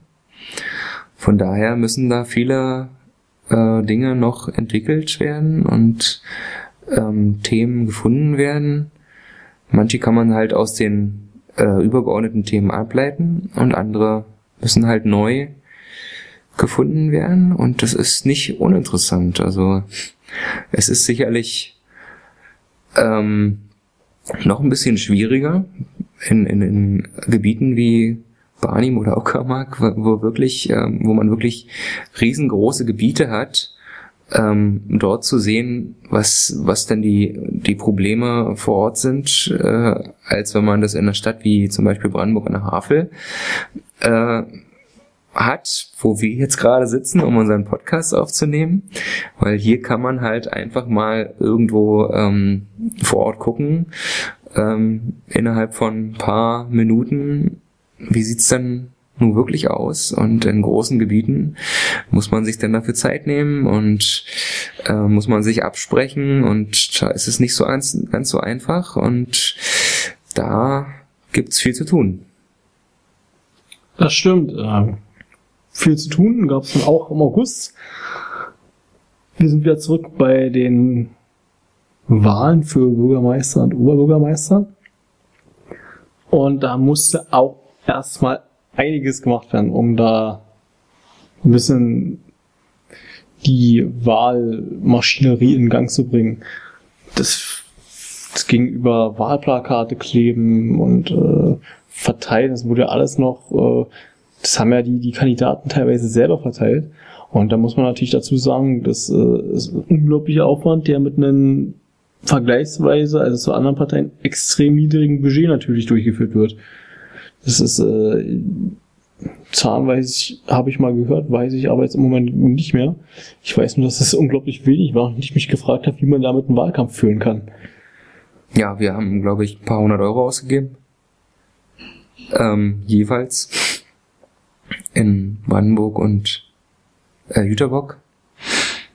Ähm, ja, wie kann man es machen? Indem man einfach alles selber macht. Das ist natürlich dann auch ein riesen Zeitaufwand, wenn man die Plakate selbst klebt und aufhängt. Ähm, das haben die anderen Parteien natürlich nicht mehr, diese äh, Probleme, dass einfach das Geld fehlt, um solche Sachen zu machen. Da engagiert man halt Leute, die ähm, fertig, fertige Plakate einfach aufhängen und dann ist das Ganze in Ordnung. Und wir sind quasi mit unseren wenigen Plakaten durch die Stadt gezogen und haben die überall selbst aufgehangen. Ähm, und das Flyer verteilen war noch krasser. Da haben wir wirklich im Rucksack irgendwie 10.000 Flyer gehabt oder, oder 5.000 oder sowas und sind halt losgezogen und haben in jedem Briefkasten einen Flyer geworfen und sind, glaube ich, an einem Tag so, keine Ahnung, 25 Kilometer gelaufen durch die Stadt und haben überall Flyer verteilt. Das war natürlich ein Riesenaufwand, den man halt auch zeitlich erstmal äh, schaffen muss. Also gleichzeitig, das ist, es ist alles so, das war alles diese, diese heiße Wahlkampfphase. Da waren ja gleichzeitig bei der Piratenpartei ganz viele ähm, Vorbereitungen zu treffen. Einerseits hier bei uns in Brandenburg die Wahlen in, in, in Brandenburg und Jüterbock. Andererseits hatten die Niedersachsen zu tun mit ihrem Wahlkampf und in Berlin, wo wir eigentlich auch hätten helfen können, es aber dann doch nicht konnten, weil wir einfach zu viel selbst zu tun hatten. Ähm, die die äh, Landtagswahlen in Berlin, ja, irgendwie äh, lief alles gleichzeitig und es war so die heiße Phase vor den Wahlen, wo viel gemacht werden musste, wo unsere Kandidaten äh, in, in Pressegesprächen waren, wo Zeitungstermine waren, wo wir selber Pressemitteilungen rausgegeben haben. Das war eine sehr aktive und sehr spannende Zeit und das hat eine Menge Spaß gemacht und das kann man kann man nur mal empfehlen, mitgemacht zu haben. Ich denke mal, die Gelegenheit, die werden wir noch ein paar Mal bekommen. Das hoffe ich auch, ja. Im Moment ist ja der Trend da. Die Umfragen sind recht positiv, wenn man sich mal die Piratenpartei anschaut und das wäre wirklich wert, da noch weiter zu kämpfen, um jede Stimme. Genau. Dann gab es ja auch im August noch weitere Sachen, die ja so, also ganz neben diesem Kandidaten noch stattgefunden haben. Das war, ich habe es vorhin schon mal angesprochen, das war die Gründung vom Regionalverband Dame oder Spree. Wo du gesagt hast, ich glaube, wo, wo Frank. Genau, Frank Bär ist der ähm, Vorsitzende. Genau. Ja, der hat sich da sehr engagiert und der hat auch äh, dafür gesorgt, dass der Landesparteitag äh, in Frankfurt oder der da kurz darauf folgte. Also es war wirklich am selben Tag. Erst die Gründung im, des Regionalverbands und anschließend der Landesparteitag. Ähm, dort vor Ort. Und da hatten wir eine sehr schöne Location, wo wir den Landesparteitag gemacht haben, wo wir dann einen neuen Vorstand gewählt haben für Brandenburg. Das ist auch ein Vorstand, ähm, ich glaube, der teilweise wiedergewählt wurde. Da wurde viel wiedergewählt, ja. Also Sven war schon vorher im Vorstand, Clara, Eik, Holger, die waren alle schon vorher dabei. Ich glaube, Michael auch, oder? Micha nicht, der Micha war nicht? im Kreisvorstand Brandenburg. Und der Vorsitzende war vorher, ähm, das war Jetzt kommt die Passage, die wir rausschneiden müssen. Na, Orange in Black heißt er auf Twitter und äh, er war jetzt so lange in Finnland, dass ich seinen Namen gerade nicht weiß. Und ähm, wie gesagt, er war in Finnland für ein Jahr und konnte nicht mehr antreten. Von daher wurde ein neuer Vorsitzender gebraucht und das ist Micha geworden. Gab es da sonst noch was Interessantes auf dem Landesparteitag? Weil das war auch wieder so, irgendwie fallen Parteitage komischerweise immer auf Arbeitswochenenden bei mir. das äh, ist mir jetzt schon öfters passiert. Auch bei dem, das weiß ich noch. Ähm, ja, da bin ich gerade nicht so sicher. Müsste ich mal eben gucken. Das Piratenpad will gerade nicht. Wir haben ja hier gerade wieder dieses tolle Piratenpad am Wickel, wo wir uns durchklicken und nach und nach die Themen abarbeiten. Nur manchmal spinnt das ein bisschen. So. Ja, also das vor allem haben wir wirklich den Vorstand gewählt. Äh, ich bin gerade nicht sicher, ob wir uns da noch eine Satzung gegeben haben oder ob das auf dem Parteitag davor war. Naja, okay, übergeben wir das mal, würde ich sagen. also so, äh, so viel war da nicht, das war halt vor allem Networking, ähm, den Landesvorstand neu wählen. Wir hatten tolle Gäste, Der Bernd aus dem Bundesvorstand war da, Alex A. Lassmann aus Bayern war da, der hat geholfen bei der Versammlungsleitung.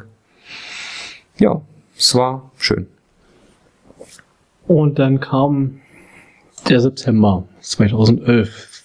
Das ist der Monat, der dann wirklich eine Zäsur dargestellt hat in der Partei. Dieses Wort. Ich würde es aber, ich finde es, ich, ich finde es beschreibt es sehr treffend. Es ist eine, es ist eine Zäsur. Ja. Und ähm, fangen wir aber mal ganz nüchtern an. Was heißt nüchtern? Es geht um, äh, es gab da zum Beispiel eine Demonstration, die hieß Freiheit statt Angst. Die fand in Berlin statt und es war eine Demo gegen den Überwachungsstaat. Ja, vor allem so gegen diese üblichen Tools, die die äh, Regierung inzwischen immer gerne haben will, äh, um das Internet irgendwie einzuschränken, indem man sagt, okay, wir müssen hier alle Benutzer auf Schritt und Tritt ähm, verfolgen, um sicherzustellen, dass unter diesen Benutzern ähm, dann auch wirklich keine Leute sind, die terroristische Aktivitäten planen und falls doch, dass wir das sofort rausfinden können. Da geht es dann vor allem um, um die Vorratsdatenspeicherung, die ja im Moment wieder ganz hoch im Kurs ist und wieder aktuelles Thema ist. Ähm, die CDU-Politiker wollen die Vorratsdatenspeicherung anscheinend unbedingt wieder haben, die ja vom Bundesverfassungsgericht gekippt wurde. Und äh, dagegen wurde quasi auf dieser Demo demonstriert. Oder auch ähm, die ähm, Netzsperren oder die Kameraüberwachung, alles so Themen, die teilweise äh, mit dem Internet zu tun haben, aber teilweise einen täglich auf der Straße begegnen, ähm, wenn man auf einem öffentlichen Platz äh, wieder in die nächste Kamera guckt. Ja, und gegen, äh, ja, so viel kann ich dazu nicht sagen. Ich war leider nicht da, hatte da irgendwas zu tun. Ich glaube, der Sven hatte da auch ein Arbeitswochenende. Und Nein, ich weiß gar nicht mehr, welches war. Ich weiß, dass ich September auch arbeiten musste. ja, Ja, das war äh, auch eine Zeit, wo ich öfter mal, ich, ich bin ja in der Nachrichtenbranche auch aktiv und äh, Nachrichtengeschehen auch am Wochenende. Man, Genau. glaubt, man glaubt es kaum. ja, zum Beispiel diese Freiheit statt Angst. Da kann man denn darüber berichten. aber Kann man darüber berichten, aber, aber als Lokalfernseh fährt man ganz selten nach Berlin. ja, leider. Ja, jedenfalls, äh, es gab dann auch äh, zum Thema Überwachungsstaat, äh, haben wir noch mal was. Äh, das kommt gleich. Genau, da aber kommen noch, Da kommt auch mal das äh, äh, Die- Stichwort Staatstrojaner. genau. Äh, ganz, ganz prekäres, aber auch spannendes Thema. Äh, dann hatten wir schließlich Wahlen. Dann waren sie endlich. Die Wahlen, die wir so lange vorbereitet Das haben. war am 11. September 2011 waren die Wahlen. Das war, Am Türmetag. das war am Türmetag. Okay. Es ist jetzt, äh, Okay, äh, ich, ich frage mich immer noch, wer auf die Idee gekommen ist. An einem 11. September. ich weiß nicht, ich weiß nicht, ob es pietätloser ist, zu lachen über diesen Türmetag oder diesen Tag Türmetag zu nennen. ja, der 11. September äh, war in der Stadt Brandenburg der Türmetag, weil die Stadt Brandenburg hat so schöne Türme und da gibt's hier jährlich den Türmetag. Ähm, und scheinbar ist es niemandem aufgefallen, dass der 11. September in Amerika anscheinend auch irgendwann mal der Türmetag war. Äh, Nun ja, ganz, ganz genau zum Jubiläum, zehn Jahre, ja genau, zum zehnjährigen Ju- Jubiläum in Brandenburg. hat man sich einfach mal gedacht, äh, machen wir auch einen Türmetag. Genau. Okay, dann, na gut, da kann man, das kann man jetzt äh, sehen, wie man will. Jedenfalls waren auch an dem Tag äh, die Wahlen. Genau. Ich bin zur Wahl gegangen, ich habe gewählt. Äh, Es gibt ein Wahlgeheimnis, deswegen sage ich nicht für wen. Ich nicht. Ich bin aber nicht stimmberechtigt. Jedenfalls äh, konnten wir da ganz gut rausgehen. Es gab da im Vorfeld, äh, das war, waren auch Piraten sehr präsent in den Medien. Und Demzufolge, man muss aber dazu sagen, ähm, bei solchen personenbezogenen Wahlen, ähm, Bürgermeister oder Oberbürgermeister, also ich finde, das muss man auch ein bisschen trennen. Das, das kann man nicht äh, so werten wie, sage ich jetzt mal, eine Bundestagswahl, wo wirklich eine Partei gewählt wird, anstatt äh, wenn du wirklich eine Person wählst. Also das hat sich ganz besonders in Jüterbog gezeigt. Da wurde nämlich ein Parteiloser gewählt. Hm. Und äh, dadurch äh, kann man muss man da immer ein bisschen differenzieren, ob jetzt die Piraten da viel geholt haben oder auch nicht viel geholt haben. Das ist ja immer hingestellt. Ist, äh, es geht ja meistens um eine Person. Und wenn ich äh, einen guten Personenkult aufbauen kann, dann äh, äh, interessiert mich die Partei dahinter erstmal nicht. Und äh, in Brandenburg äh, war es dann so, da wurde die alte Oberbürgermeisterin, das ist Frau Dr. Nikin Thiemann, wurde wiedergewählt, sehr eindeutig mit über 50 Prozent der Stimmen, musste nicht in die Stichwahl gehen. Ich, in Jüterbock habe ich es nicht mehr ganz in Erinnerung, aber da gab es, glaube ich, eine Stichwahl. Ja, ich glaube schon. Da gab es die Stichwahl und am Ende hat der parteilose Kandidat gewonnen. Genau. Und jedenfalls konnten wir aber trotzdem einige Prozente holen. Und es war, wenn man sich mal so die, die äh, durchschnittlichen Ergebnisse bei, bei Bundestagswahlen an, anguckte, letzten Bundestagswahlen waren 2009, glaube ich, da hatten wir in Brandenburg 2,5 Prozent, also im Land. Genau, und äh, da hatten wir zum Beispiel mit dem Sven Weller in der Stadt Brandenburg an der Havel 4,6 Prozent geholt. Das ist ja im Vergleich eine Steigerung. Und das war, muss man dazu sagen, noch vor der Berlin-Wahl, noch bevor der Hype losging. Genau, das ist ein ziemlich gutes Ergebnis, finde ich auch. Wenn man das jetzt äh, doch mit, der, mit einer äh, Land- oder Bundestagswahl vergleichen würde, dann wäre das ja fast im Parlament. Genau. Und wenn man jetzt mal, ich habe ja die einzelnen, die Auswertung der einzelnen Stadtteile gesehen für Brandenburg an der Havel. Also im Gesamtergebnis ist äh, hinter, also ist Sven Weller hinter der grünen Kandidatin also, also, also im Vergleich ist er einfach mal letzter geworden. Von fünf Kandidaten ist er der letzte geworden. Das ist jetzt ist klar, 4,6 Prozent im Vergleich zur Erstplatzierten mit 56,4 Prozent. ähm, ist dann natürlich klar letzter geworden. Aber wenn man sich mal den Vergleich zur vorletzten anguckt, die hat 5,8 Prozent, da gibt es einige Stadtteile, da ist er nicht letzter geworden. Da war er, ja. da war er am Platz weiter vorne. Und das zeigt ja auch, äh, es gab, glaube ich, auch einen Stadtteil, wo er Dritter war sogar. Sogar vor dem Kandidaten der Linken, also hinter CDU und SPD, glaube ich. Oder hinter CDU und Linke. Das weiß ich nicht Bin genau. Bin ich gerade nicht ganz sicher. Jedenfalls hat man da sehr gut gesehen, dass, äh, dass man da nicht so abgeschlagen ist. Ja, wir packen die Links dann natürlich mit rein irgendwie, wo wir den Podcast verlinken. Da werden wir auch ähm, noch Links mit reinstellen, wo man da mal noch mal ein bisschen detaillierter nachgucken kann, glaube ich. Ja. Ich habe da hier gerade die Auflistung. Auf jeden Fall konnte man an den Ergebnissen sehen, dass das Flyer verteilen und das Plakatieren richtig was gebracht hat. Ähm, man konnte dann nämlich ganz deutlich sehen, dass eben an Orten, wo wir keine Flyer verteilt haben, weniger gewählt wurde oder weniger Piraten gewählt wurden, als an Orten, wo wir Flyer verteilt haben. Das war am Ergebnis ersichtlich. Also das, das Programm, jetzt ohne den Kandidaten zu kennen, war anscheinend doch ganz überzeugend, wenn man diesen Flyer in der Hand hatte und sich entscheiden musste zur Bürgermeisterwahl, wen man denn nun wählt. Ja, wenn man sich das jetzt so anhört, 4,6 Prozent, klingt erstmal noch nicht viel, aber wenn man sich überlegt, dass es aus dem Stand raus ist, ist das schon eine beachtliche Leistung. Genau, ohne im Brandenburger Parlament zu sein oder irgendwie großartig äh, bekannt zu sein in der Stadt. Von daher vor der vor der Berlin-Wahl, wie gesagt, ein gutes Ergebnis. Und dann, ähm, dann gab es halt in Jüterborg die Wahl ebenfalls am Türmetag.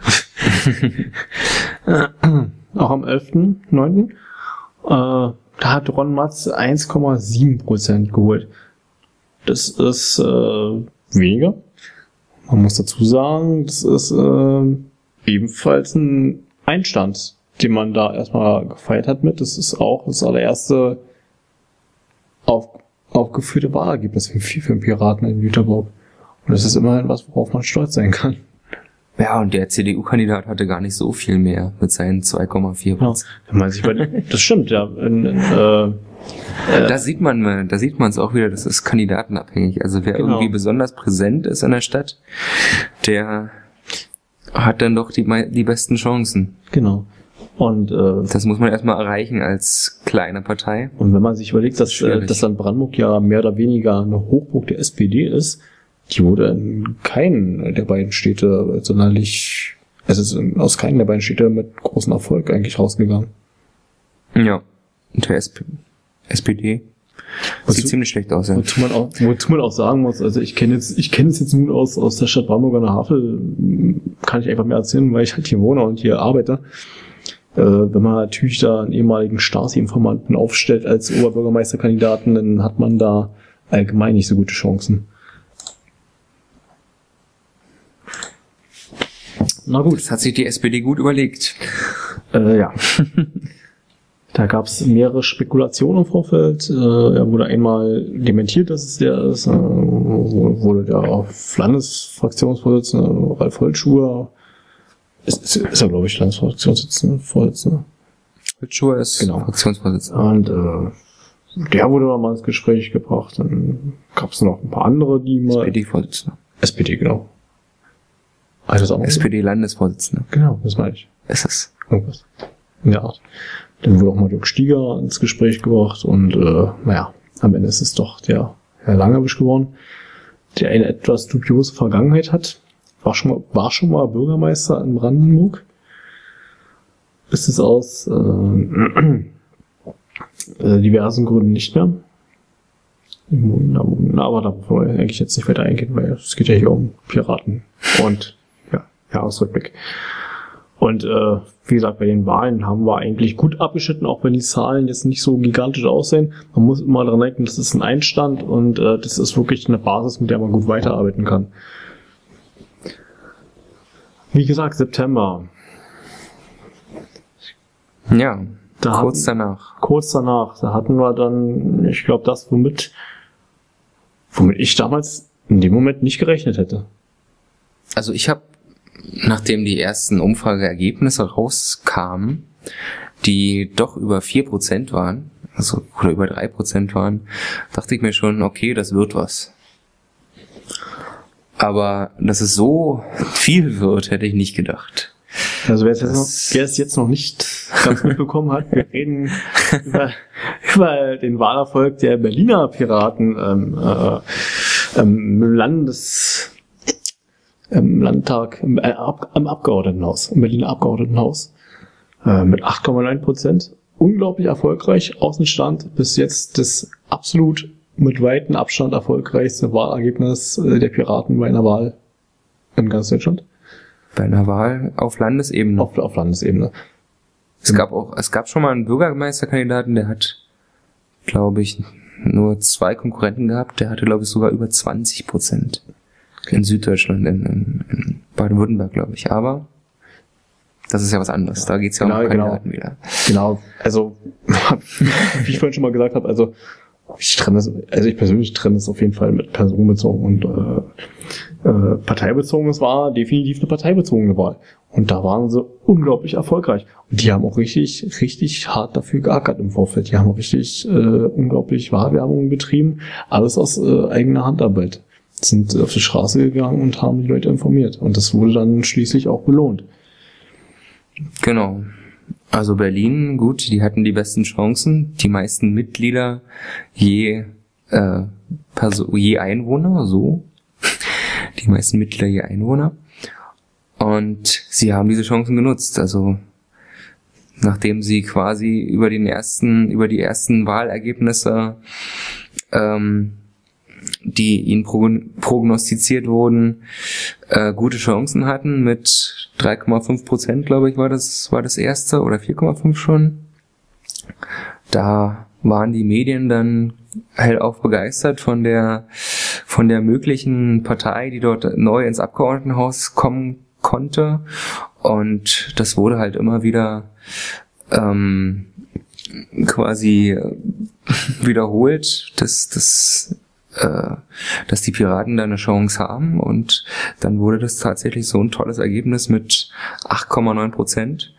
Aber diese 4 Prozent, die sie da vorher hatten, die haben sie sich reichlich erarbeitet und richtig, richtig hart mit dem Kleben von Plakaten, mit dem Aufhängen von Plakaten, so wie bei uns, ähm, nach und nach mit vielen Infoständen und einem tollen Programm äh, erarbeitet. Ja, und die Leute überzeugt. Ja, gerade die Wahlplakate, äh, Christopher Lauer hat es ja äh, bei Anne Will gesagt, äh, sie haben da bewusst auf äh, nautische Begriffe so verzichtet, äh, weiß ich wie Enderhaken oder weiß ich was. Und äh, man merkt ja auch, äh, das Design ist ein bisschen anders als das, was wir im Land Brandenburg so haben. Wir haben ja so, so wirklich so ich sag jetzt mal wirklich so, so ein leicht klischeehaftes Klassische ist, wenn ich mir jetzt den, den aktuellen Flyer mal angucke, mit, mit einem Piratenschiff drauf und äh, ein Orange. Und da gab's ein, da gab's was anderes. Da gab's äh, Schwarz-Weiß-Fotos äh, von Piraten äh, mit äh, verschiedenen Aussagen darüber, die halt farblich dann noch unterlegt waren. Es waren auf jeden Fall Bilder mit Pep, die das war, Wahlplakate, die waren gut, Hingucker. Ja. Die waren echt gut. Hingucker und es hat gewirkt. Ja, aber es gibt natürlich auch äh, ein Plakat von den Piraten, das heißt, traue keinem Wahlplakat. Informiere dich. Genau. Und äh, das können wir jetzt nicht nachvollziehen, ob das jetzt äh, die Wähler gemacht haben. Aber wir bedanken uns bei ihnen. Und äh, in Berlin, äh, wir haben jetzt ja natürlich einen Jahresrückblick für, für Brandenburg, aber da muss man einfach Berlin anschneiden, weil das hat natürlich auch ähm, Land Brandenburg für einen unglaublichen Umbruch gesorgt. Äh, also die Wahl hat dafür gesorgt, dass wir jetzt äh, die doppelte Mitgliederzahl inzwischen haben, noch wie noch zu Jahresbeginn. Genau. Also von 350 auf 650 Mitglieder sind wir inzwischen an, angewachsen. So Tendenz steigend. Tendenz steigend, ja. Berlin hat sich ja ähnlich verhalten und auch alle anderen Bundesländer in Deutschland haben massiv Zuwachs bei Mitgliedern der Piraten. Das ist schon, ich denke, ohne, ohne Berlin zu erwähnen, kann, kann man einen Jahres, Jahresrückblick nicht machen. Nein, das war schon, man, man sieht auch, äh, inwiefern es wegweisend war. Dann gab es ja äh, später ein Parteitag in Offenbach, ein Bundesparteitag, wo dann wirklich Sachen aus Berlin dann ins Bundesprogramm übernommen wurden, wie der öffentliche Personennahverkehr. Das kommt übrigens aus. Ach nee, da bin ich jetzt nicht sicher. Nee, ich vergesse es. Ist egal. Das Bildungsprogramm kommt aus NRW, das Berlin hätte, aber das haben wir noch nicht.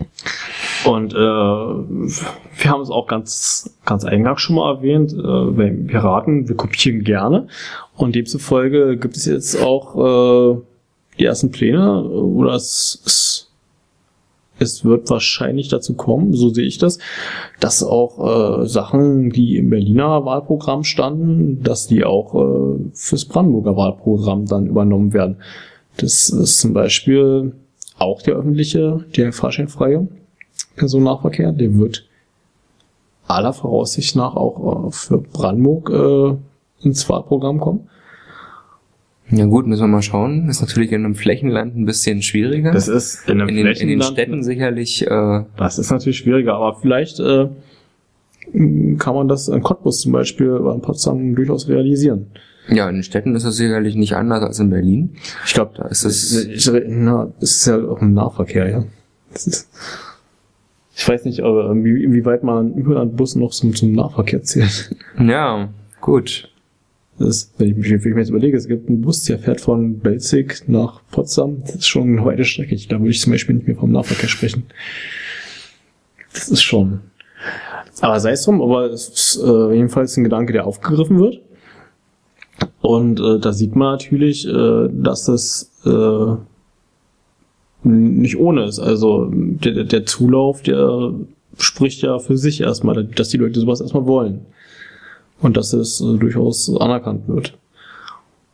Und da werden wir natürlich sehen, was da, was da auf uns zukommt. Wir haben nächstes Jahr auch noch Wahlen in einem anderen Bundesland und die werden wir natürlich auch unterstützen und wir werden dann gucken, ob wir vielleicht äh, an, an, so ein, an so eine Wahl, an so ein Wahlergebnis wie an Berlin äh, heranreichen. Ja, das wird sich zeigen. Schleswig-Holstein ist nächstes Jahr dran. Im Mai, glaube ich. Da wird auch der nächste Bundesparteitag sein in Schleswig-Holstein. Schauen wir mal, ob die Schleswig-Holsteiner in einem Flächenland das gleiche erreichen können, wie Berlin in einer Großstadt es konnte. Ich glaube, ich hatte letztens eine Wahlumfrage gesehen, wo sie bei 6% waren. Genau. Und 6%, das wäre schon mal ziemlich gut. Ja. Das würde mich freuen.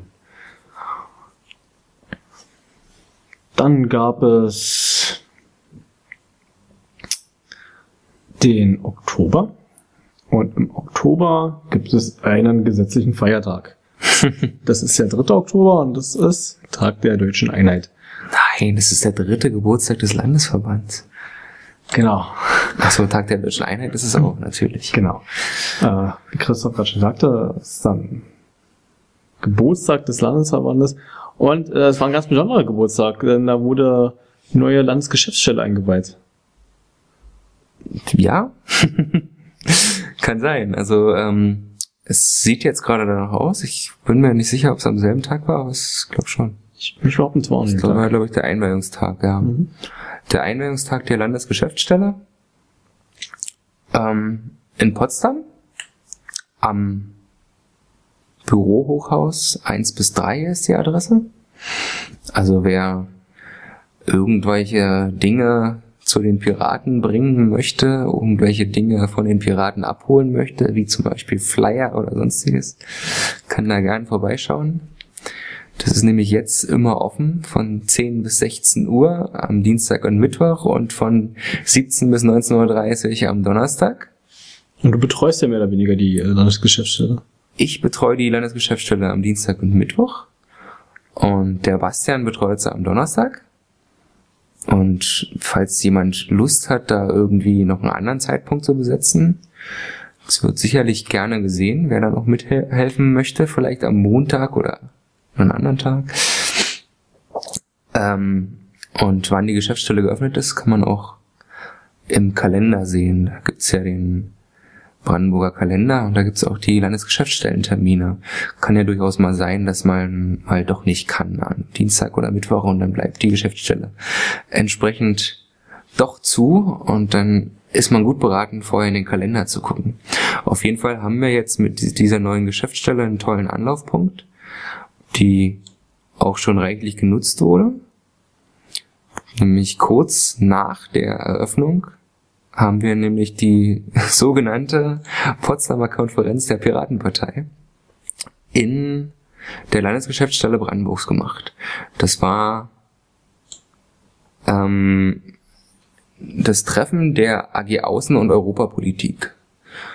Auch darüber wurde reichlich berichtet nach der äh, Berlin-Wahl. Da kam ein RBB-Team an beiden Tagen und hat Interviews geführt. Und es war sehr interessant, wie wir auf einmal beäugt werden von den Medien. Das hat sich sehr zum Positiven verändert. Vorher musste man halt hoffen, dass man äh, vielleicht einen Medienvertreter vor Ort hat und inzwischen kann man sich ziemlich sicher sein. Und dass nicht nur einer da ist. Ja, und die Potsdam, Potsdamer Konferenz war quasi eine, eine, ein Bundestreffen von den Mitgliedern der AGs Außenpolitik und Europapolitik in Potsdam in dem neuen ähm, Büroraum, den wir dort haben, wo Platz ist für 20, 30 Personen, um dort halt solche Konferenzen zu machen. Das lief auch ganz gut. Da hat sich dann auch ein, ein Antrag aus der Konferenz ergeben, den wir in Offenbach jetzt vor kurzem auf dem Parteitag beschlossen haben. Den Piratenappell pro, pro Europa, der sich quasi aus der, den Ergebnissen der Konferenz so äh, zusammengestellt hat. Und dann gab es ja nochmal im Laufe des Podcasts haben wir ja schon mal das Thema gehabt, äh, Überwachungsstaat. Und äh, Genau. da gab's ja im Oktober etwas, was ans Tageslicht kam. Ähm, das nannte sich Staatstrojaner. Genau. Und äh, wenn ich mich richtig erinnere, der Staatstrojaner wurde dem CCC, also dem Chaos Computer Club, zugespielt.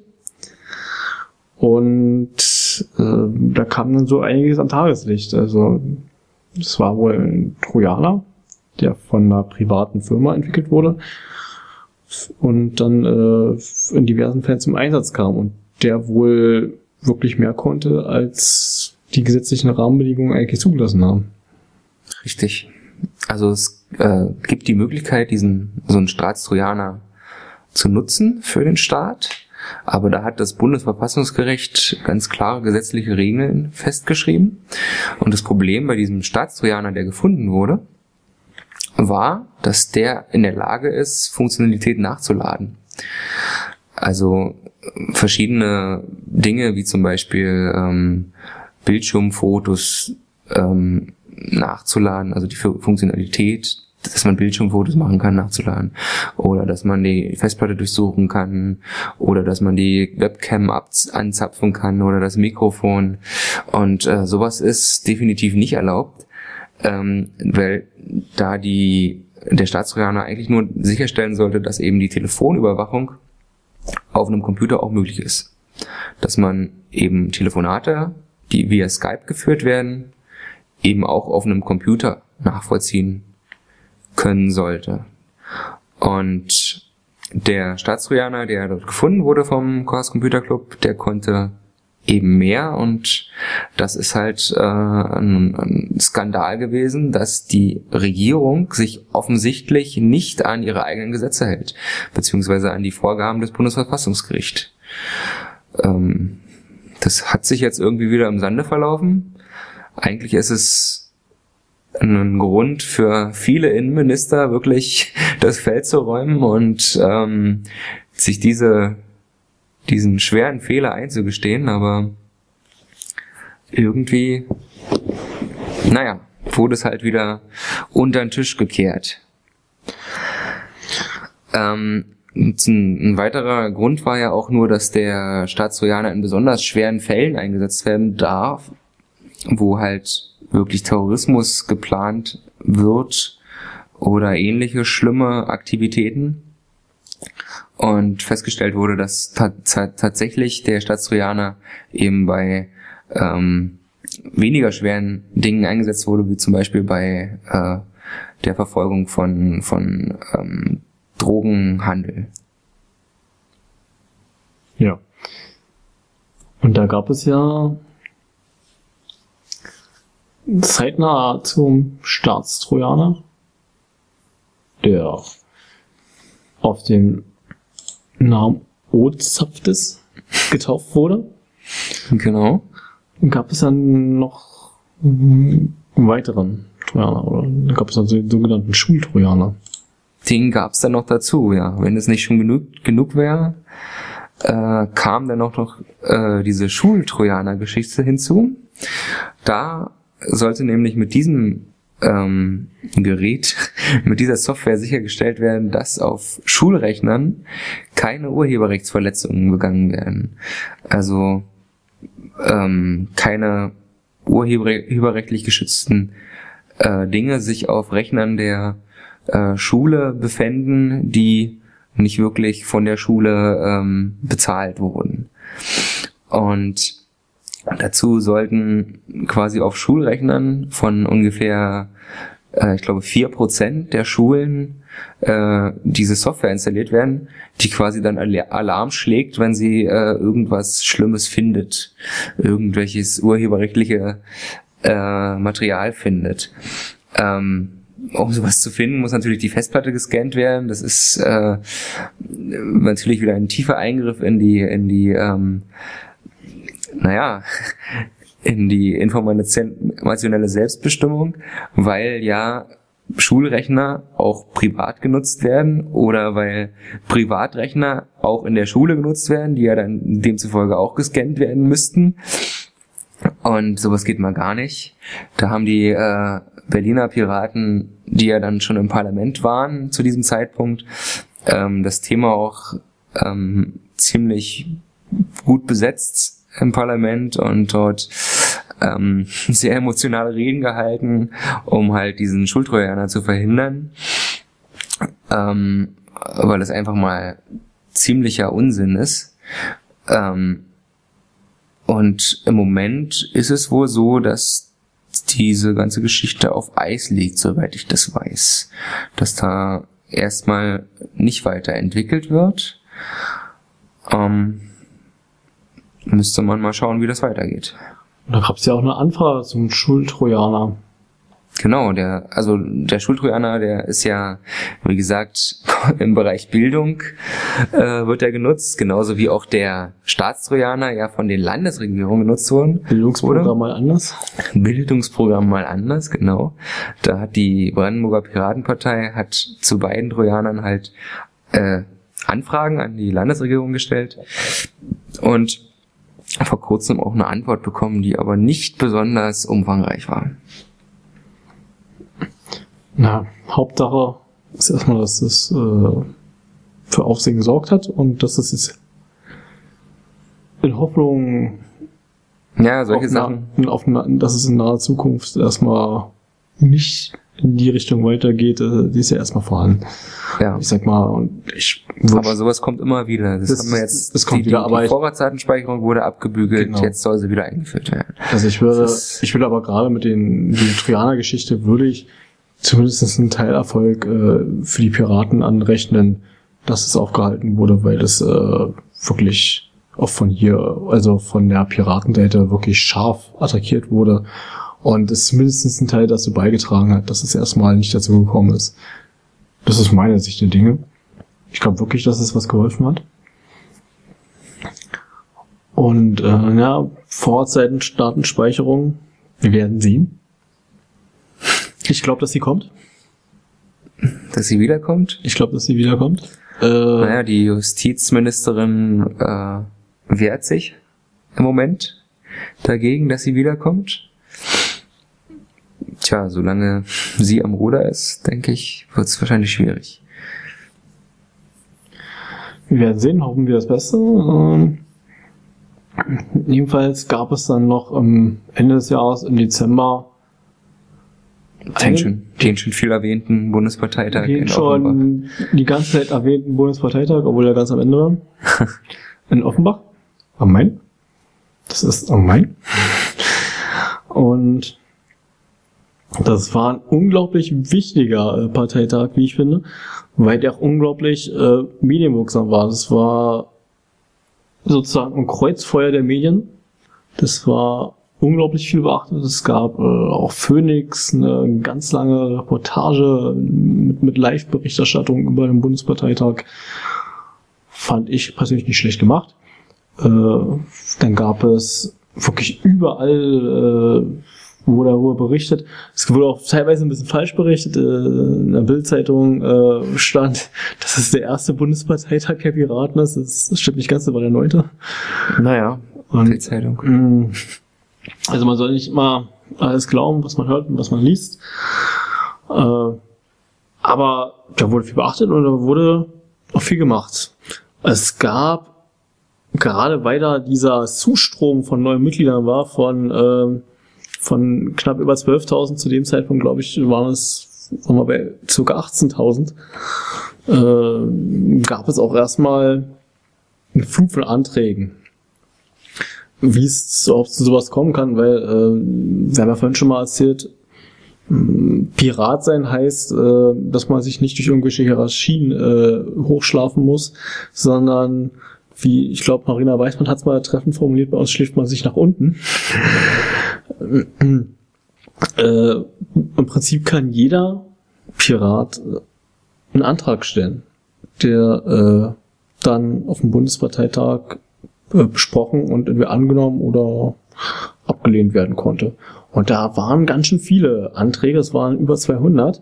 Und ähm, einer der ersten Anträge, die abgestimmt wurden, war, wie dann über die Anträge abzustimmen ist. Mhm. In welcher Reihenfolge. Und zwar wurde dann letztendlich, äh, wurde sich für das Top 40 Verfahren entschieden. Das heißt, es wurde im Vorfeld bereits eine Umfrage gemacht, äh, welches die 40 interessantesten Themen der Piraten für den Bundesparteitag sind. Das wurde angenommen und es sollte danach verfahren werden. Wurde leider nicht ganz. äh, viele Sachen wurden dann doch einfach äh, vertagt, sage ich mal. Äh, Anträge, also äh, Dafür gab es andere Sachen, die so in Konkurrenz mit den Anträgen standen, das die stimmt, mitbehandelt das stimmt. wurden. Es wurde nat natürlich wurden immer, äh, wenn ein Antrag behandelt wurde, mussten auch die konkurrierenden Anträge dazu behandelt werden. Was mir natürlich äh, ein bisschen unfair oder schwachsinnig einfach. Genau. Äh, was nicht behandelt wurde, wurden waren hauptsächlich Themen wie ähm, Finanzwirtschaft, äh, also wirtschaftliche Themen. Wirtschaftsthemen kamen nicht, Umwelt wurde auch nicht weiter ausgebaut. Aber dafür viele andere Sachen. Die wohl äh, umfangreichste Debatte war zum äh, Bedingung, bedingungslosen Grundeinkommen, Mhm. kurz BGE. Es war meiner Auffassung nach die längste Debatte, die es gab. Die war wirklich sehr hitzig. Gab's da, da gab es dann unglaublich viele Meinungen zu. Und ähm, der wurde letztendlich dann angenommen. Ja, und zwar ganz knapp mit 66,9 Prozent. 66,66 und so weiter wären notwendig gewesen. 66,9 Prozent wurden's. Jedenfalls, Und eigentlich geht's ja in dem Antrag noch nur darum, dass eine, dass- dass eine Enquete-Kommission einberufen wird, um zu prüfen. Also, das heißt, wenn die äh, Piratenpartei im Bundestag sitzt, dass da eine Enquete-Kommission einberufen wird, um überhaupt, die erstmal prüfen soll, ob das überhaupt gehen würde oder wie das gehen würde mit, äh, mit einem bedingungslosen Grundeinkommen. Das ist eigentlich die ganze Geschichte dahinter. Da, wird, da wurde noch nicht beschlossen, wie hoch das sein könnte oder äh, ob, ob das wirklich komplett bedingungslos wäre, weil, weiß ich nicht, äh, ganz bedingungslos geht ja gar nicht. das ganz bedingungslos geht natürlich nicht, Man weil muss es ja, man- man- wir man- haben ja nun mal Nationalstaaten, von daher muss man es Genau. auch auf den Nationalstaat zumindest beziehen. man, man muss es zumindest auf die Staatsbürgerschaft äh, beziehen wahrscheinlich. Naja, man könnte es auch an hier lebende Ausländer ausgeben. Na, Das ist halt immer die Frage, man, muss, wie, man, wie muss man halt, man, man muss halt, man muss halt überlegen, in der EU kann jedenfalls, kann theoretisch jeder EU-Bürger nach Deutschland ziehen. Wenn es dann halt eine Massenwanderung nach Deutschland gibt, weil es hier dann ein komplett bedingungsloses Grundeinkommen gibt, Dann wäre immer noch die Bedingung, dass man in Deutschland Dann- sein muss dann oder sowas. wäre, dann wäre das Also- immer noch eine Bedingung, genau. Äh, Bedingungslos ist es sowieso nicht ganz. Ähm, und im Grunde sagt der Antrag ja nur, dass diese Enquete-Kommission verschiedene Modelle aufstellen soll, ähm, die möglich wären, theoretisch. Und der Antrag sagt dann aber auch, dass quasi, dass es quasi ein Vol eine Volksabstimmung auf Bundesebene geben soll, die darüber beschließt, welches Modell und ob überhaupt ähm, das bedingungslose Grund Grundeinkommen ähm, eingeführt werden soll. Genau. Äh, Das sind eigentlich zwei Anträge, weil eine, eine, äh, Volksabstimmung auf Bundesebene gibt's gar nicht. Die müsste man vorher noch schaffen, die Möglichkeit. Bedingungsloses Grundeinkommen ist natürlich so eine Sache. Ich glaube, es ist somit die Sache, die am, am stärksten so zwiespältig gesehen wird an der Partei. So habe ich die, zumindest die Auffassung. Deswegen auch die Diskussion, ja. Das, deswegen die lange Diskussion. Ich persönlich, meine Meinung ist, ähm, im Moment bin ich noch nicht dafür. Aber ich lasse mich durch äh, entsprechende Argumentation gerne überzeugen.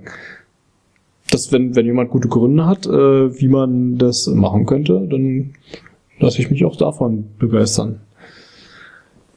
Ja, Dann gab es auch noch andere interessante Anträge, die eigentlich nicht ganz so neu waren. Also wenn man sich jetzt überlegt, äh, der Drogenantrag zum Beispiel, gab es gab, zwei verschiedene drogenpolitische Anträge, die angenommen wurden.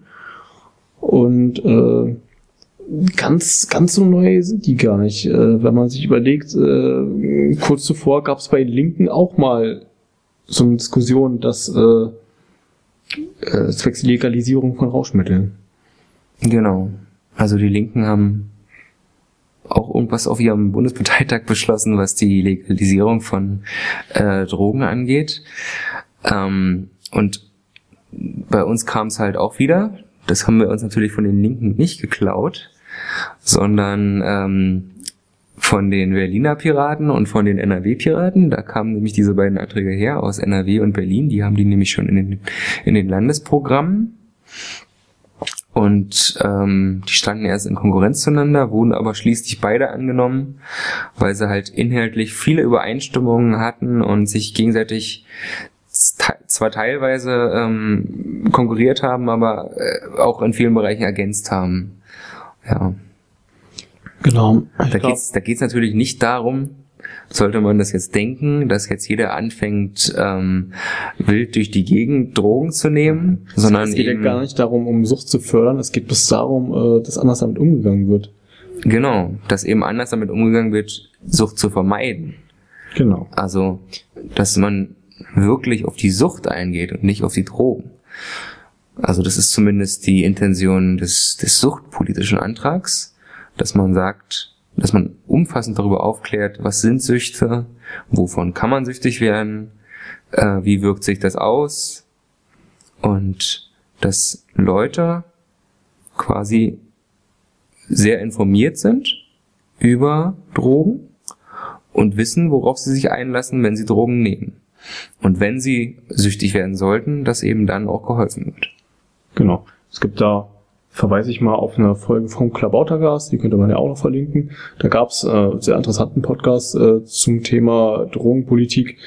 Äh, der beschäftigt sich auch sehr ausführlich damit und ich finde ja, ist auch sehr überzeugend, ehrlich gesagt, äh, dass man hier nicht mehr unbedingt nach dem Prohibi Prohibitionsverfahren äh, urteilen muss, sondern dass man äh, da wesentlich mehr von hat, wenn man einfach äh, wenn man einfach was legalisiert, weil äh, es nehmen ja nicht mehr Leute Drogen, nur weil es dann auf einmal legal ist. Also ich würde auch nicht anfangen, auf einmal Drogen zu nehmen, nur weil ich, weil ich sie jetzt haben kann.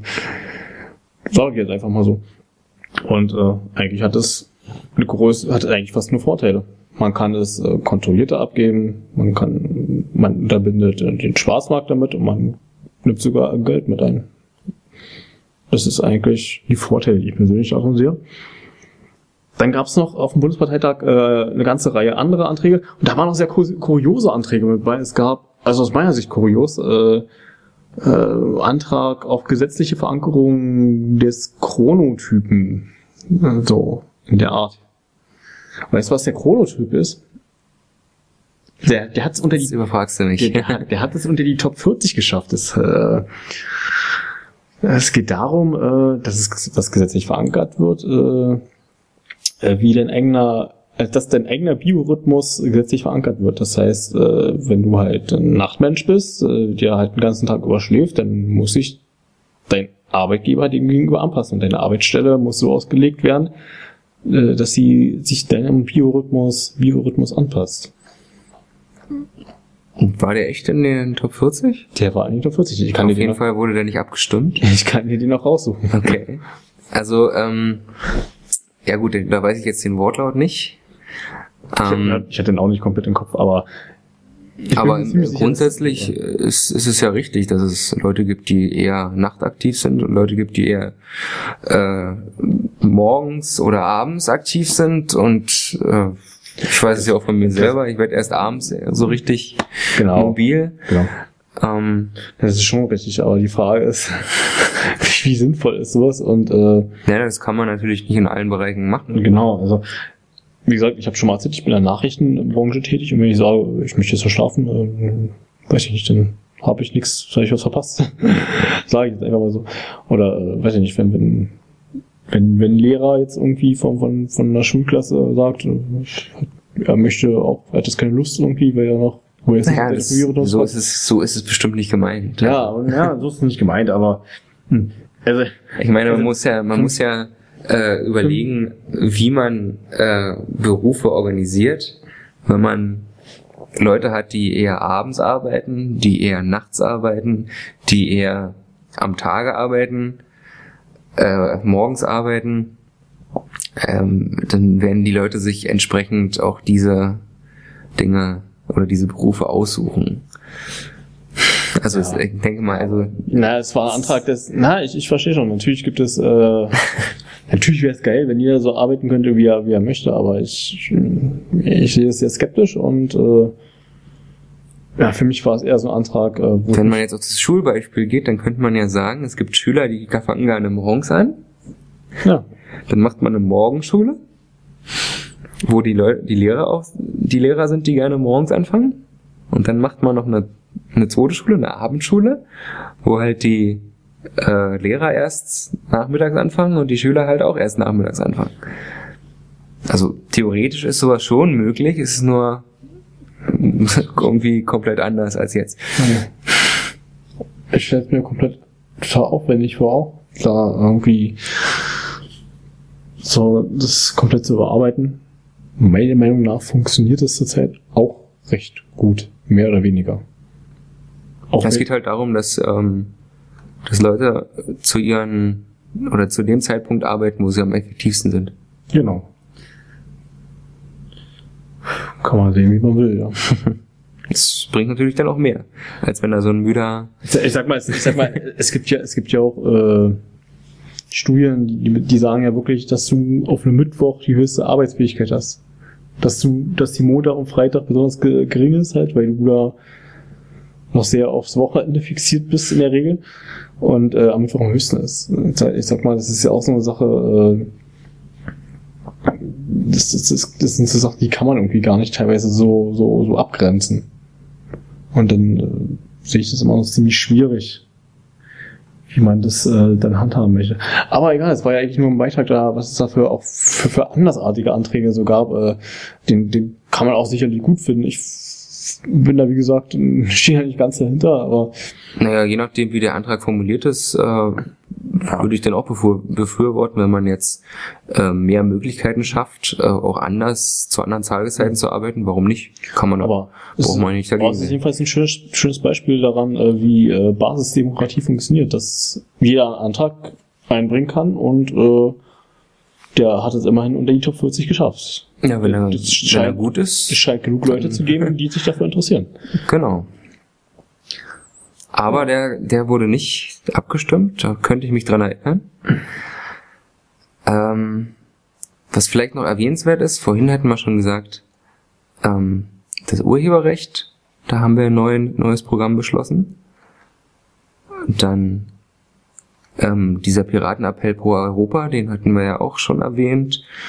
Ähm, und die, die bessere Trennung von Kirche und Staat haben wir noch beschlossen. Halte ich für besonders wichtig. Den halte ich auch für ziemlich wichtig, weil ähm, im Moment es so ist, dass die christlichen Kirchen in Deutschland extrem bevorzugt werden gegenüber anderen äh, religiösen Einrichtungen, obwohl wir eigentlich laut Grundgesetz ähm, keine Unterschiede machen zwischen Leuten, die unterschiedliche Religion, Religionen haben. Also warum fördern wir die christlichen Kirchen mit sehr viel Geld, während wir andere Religionsgemeinschaften in Deutschland ähm, nicht fördern?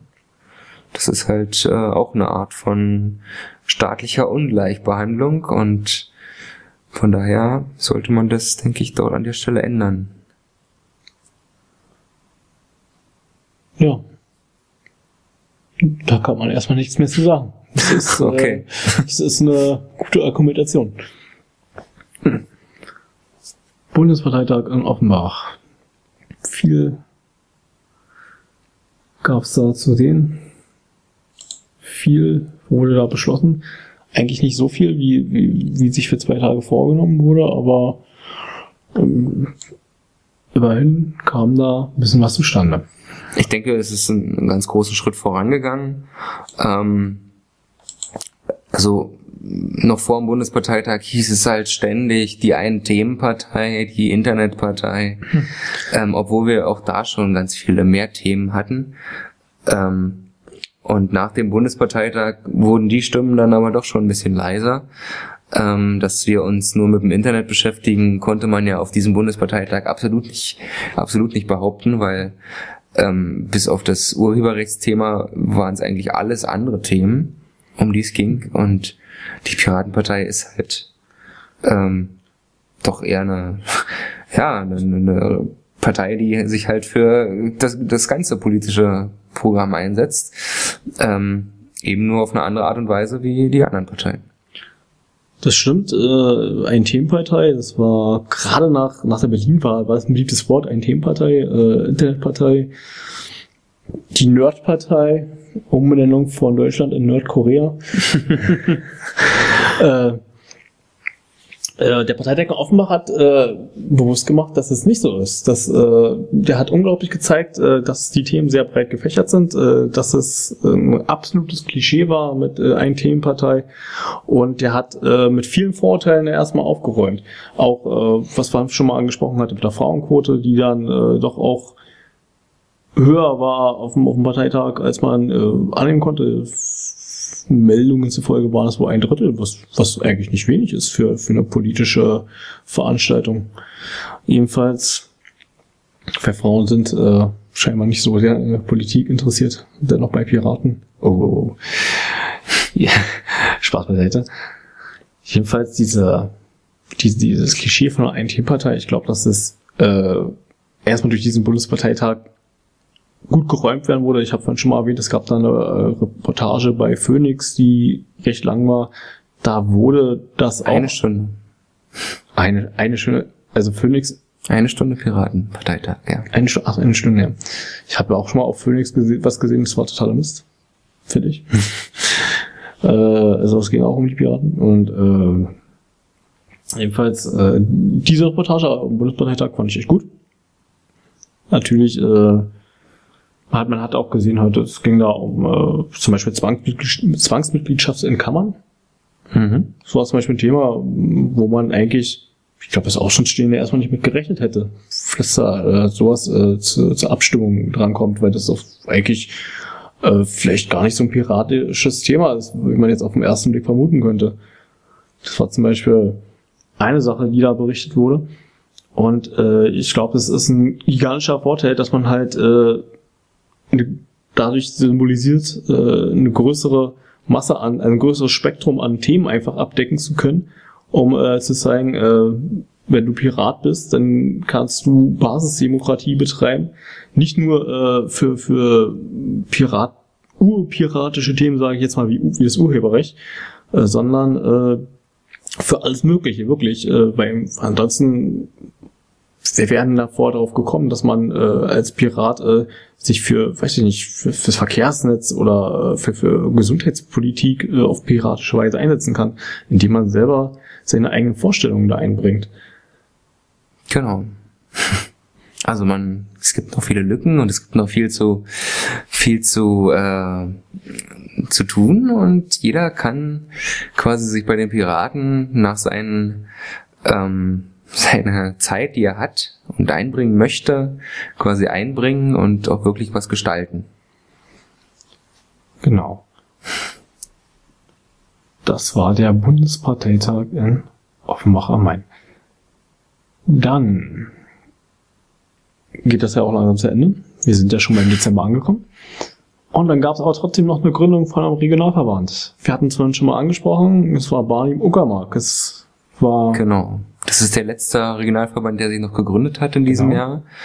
Das war jetzt mh, hm, noch vor der Weihnachtsfeier, glaube ich. Wann war denn das? Egal. Ähm, auf jeden Fall hat sich da, ähm, ja, am 16.12. war das, in Eberswalde. Da haben sich dann fünf Leute gefunden, die den ähm, Kreis oder den Regionalverband zukünftig leiten werden als Vorstand. Und dann werden wir mal sehen, wie sich das weiterentwickelt. Da haben wir ja auch schon vorhin äh, doch ein paar Worte drüber verloren. Ähm, dann darf gespannt sein.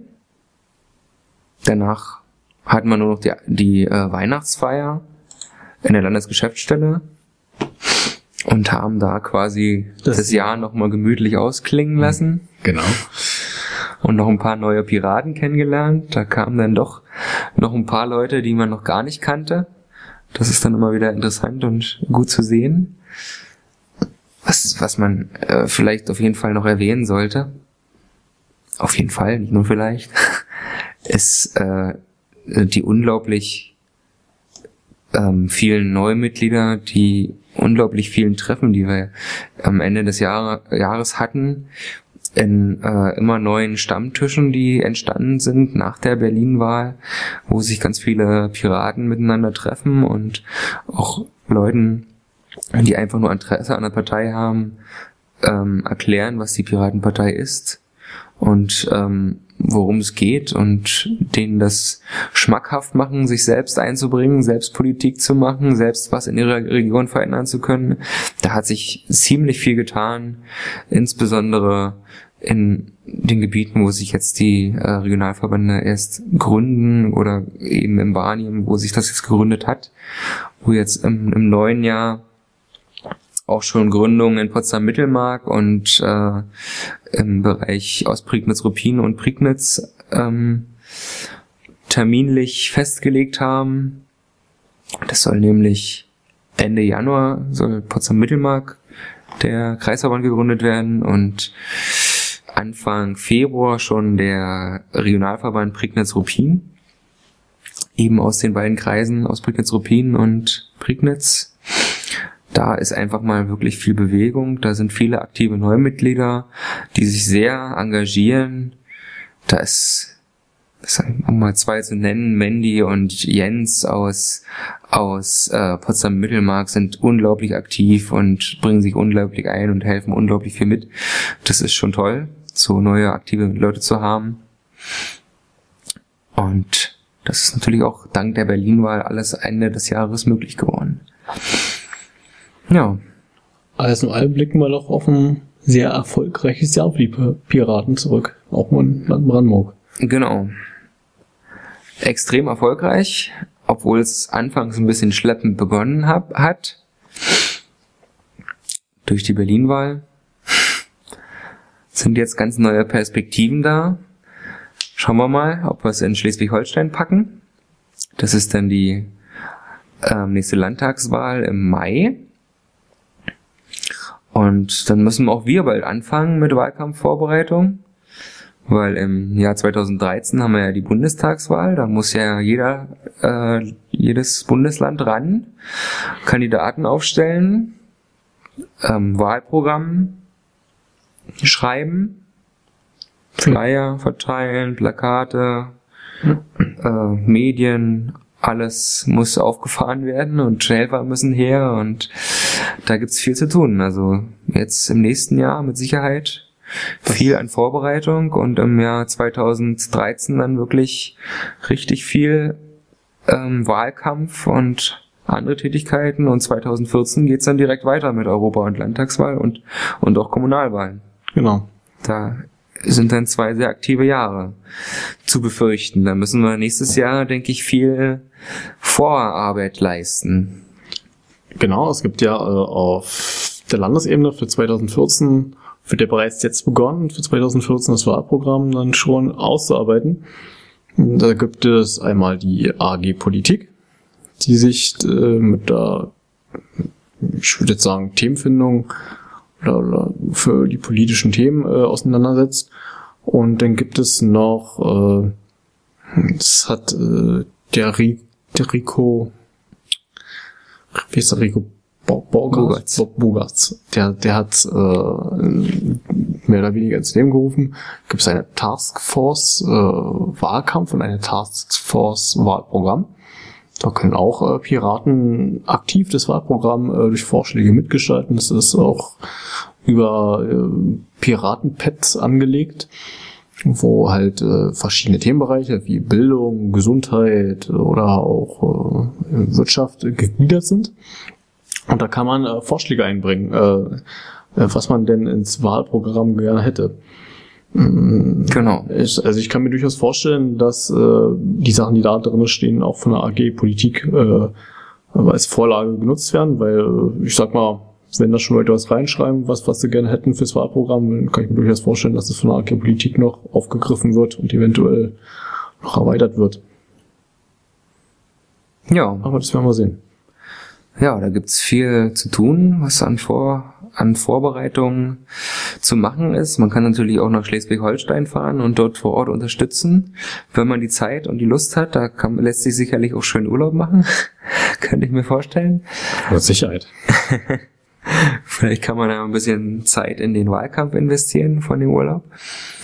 Ähm, und in Brandenburg werden wir dann wahrscheinlich oder voraussichtlich im Juni und im August ähm, unsere Parteitage haben. Der Landesvorstand hat schon ausgeschrieben, ähm, dass für die Parteitage Orte sich bewerben.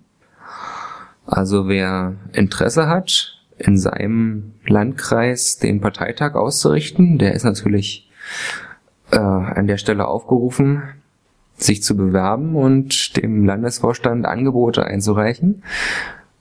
Ich denke mal, mit 100 Leuten werden wir da bestimmt rechnen dürfen auf den Parteitagen. Es wird sicherlich spannend. Ja. Wollen wir noch ein paar Dankesworte verlieren? Dankesworte? es gibt, es gibt ja beim Edelstoff-Podcast von den Berlinern diese nette Sitte, ähm, quasi am Ende jedes Podcasts noch ein paar Leute zu erwähnen, die besonders ähm, präsent waren in der letzten Zeit und besonders viel tolle Sachen gemacht haben. Und ich habe da, ich habe mal ein paar aufgeschrieben, dass man das mal analog machen könnte. Ähm, wobei sich dann auch niemand benachteiligt fühlen soll, weil es ja jetzt nicht erwähnt, nicht. erwähnt wird. Ein paar haben wir ja schon erwähnt. Die brauchen wir jetzt vielleicht nicht nochmal erwähnen.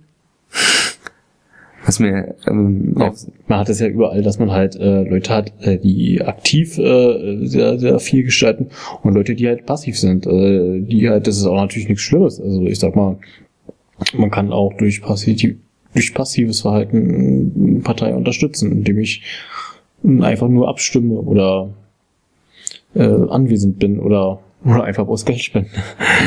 Und äh, da gab es, da gibt es natürlich auch Leute, die wiederum sich wirklich enorm engagieren und, und vielerorts äh, auch äh, viel tun. Genau ja, also was man vielleicht nicht so sieht, die, die Leute, die man es vielleicht nicht so sieht, sind vor allem die Leute, die im, im, im Technikbereich arbeiten, die dafür sorgen, dass unsere Infrastruktur immer läuft, unsere Webseite immer läuft, und unser Mumble läuft und alles äh, an Infrastruktur genutzt werden kann und wir quasi online uns zusammenfinden können, um übers Programm uns zu unterhalten oder neue Vorschläge auszuarbeiten. Und da gibt's zum Beispiel den Uwe, der keine Dankesworte möchte. Da sollen wir uns bedanken bei Bytecamp, Vario Media, Debian, WordPress, Davical und dem MediaWiki und anderen Open Source Entwicklern. Also danke, liebe andere Open Source Entwickler. ja, und auch Micha, unser Landesvorsitzender, macht ja extrem viel in Sachen Technik nicht nur die Sachen, die man eh schon von ihm erwartet, dass er eben in Presse und Landesvorstand präsent ist. Da haben wir ihn ja für gewählt. Solche Sachen, denke ich mal, sind ja sind natürlich gut, wenn er da sich sehr einbringt. Aber das dass die Technik nebenbei funktioniert, ähm, dass er sich einbringt in der Mitgliederverwaltung, äh, in der Mitgliederbetreuung, das ist natürlich klasse. Ebenso in der Mitgliederbetreuung sind auch Clara und, und Veit und Holger sehr aktiv, die zusammen mit mir das machen und die ähm, besonders jetzt nach der Berlin-Wahl doch eine ganze Menge zu tun hatten mit den Neumitgliedern, die, die dann Fragen gestellt haben. Jetzt ist das Ganze doch wieder ein bisschen abgeebbt, aber äh, traut euch ruhig, wir sind, sind fünf Leute wenn ihr Fragen habt, fragt einfach. Ähm, da gibt's diese Mitgliederbetreuung ja dafür und wenn ihr mithelfen wollt, dann sagt Bescheid, dann könnt ihr gerne mitmachen.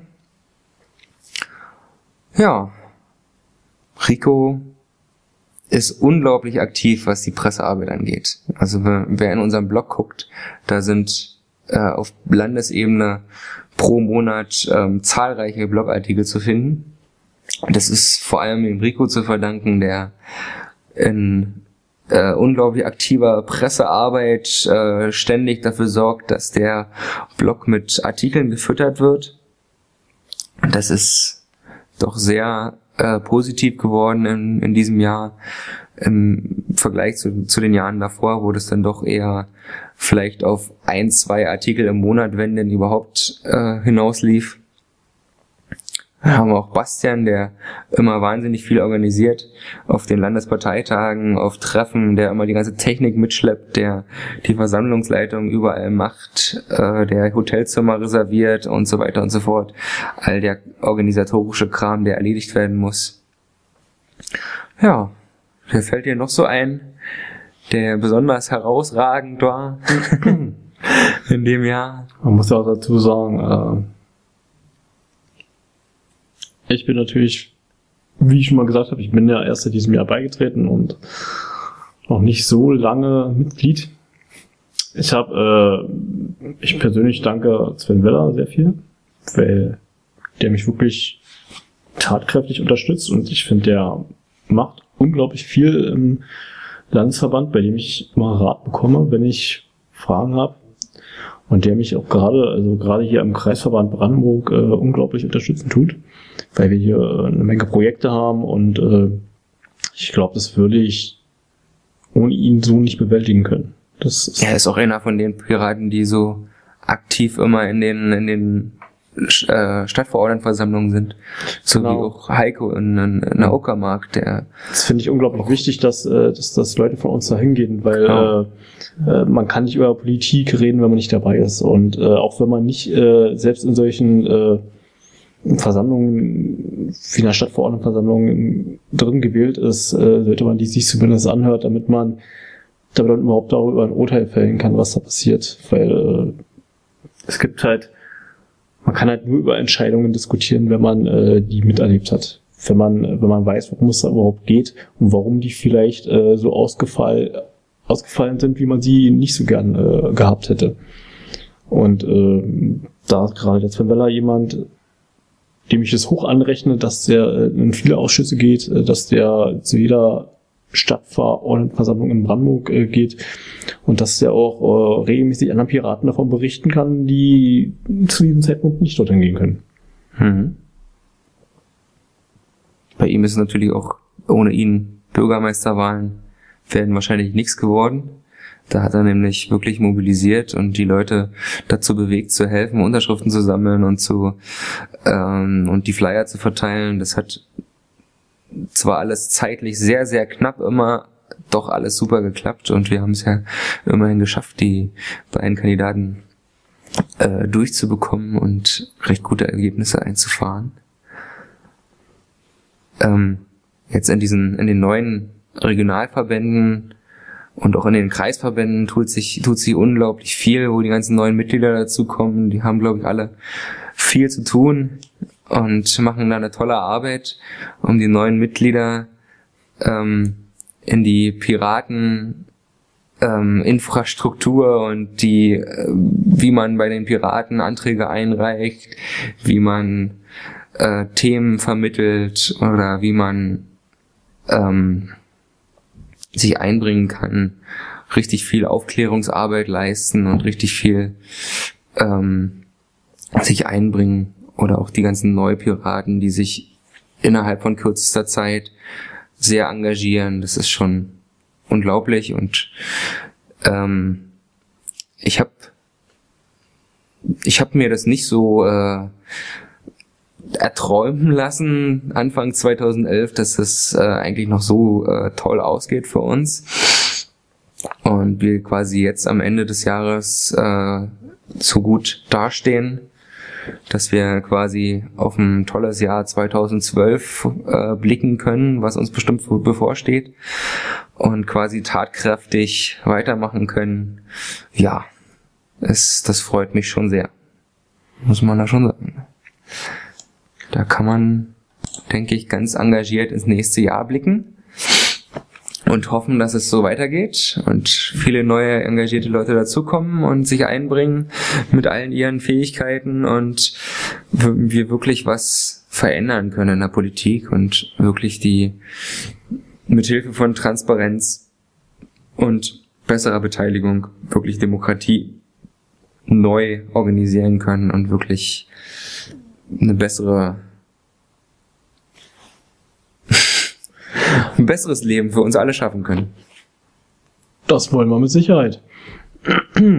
So, da sind wir eigentlich schon so gut wie am Ende von unserem Podcast, in dem wir auf ein erfolgreiches Jahr zurückblicken können. Dankeschön an diejenigen, die es bis jetzt durchgehalten haben. Und äh, wir wollen eigentlich bloß noch auf eins eingehen. Und zwar, anfangs haben wir euch äh, den Podcast als Podcast des Landesverbands Brandenburg vorgestellt.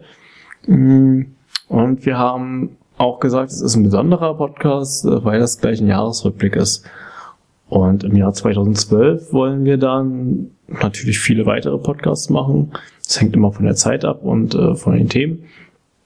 Und äh, die sollen die sollen nicht, nicht nur unbedingt äh, landesdeckend sein.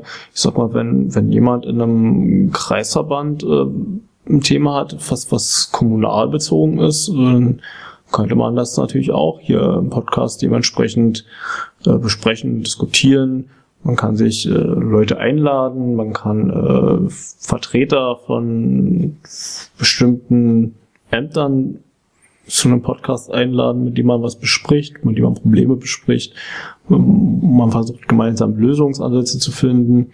Und äh, da sind wir für alles offen. Da bin ich, äh, na, ich wurde zum Ansprechpartner ernannt, weil der, weil der Podcast äh, mehr oder weniger meine Idee war. Das heißt, äh, wer gerne an einem eigenen Podcast mitwirken möchte, der kann sich bei mir, ich bin ja Ducktail, melden. Und äh, am richtigen Leben heiße ich dann Sven Pinke. Und da findet man mich im Wiki vom, vom Brandenburg, äh, vom Land Brandenburg äh, als äh, Kreisvorsitzenden für Brandenburg an der Havel. Und da müsst ihr mich auch Kontakt finden.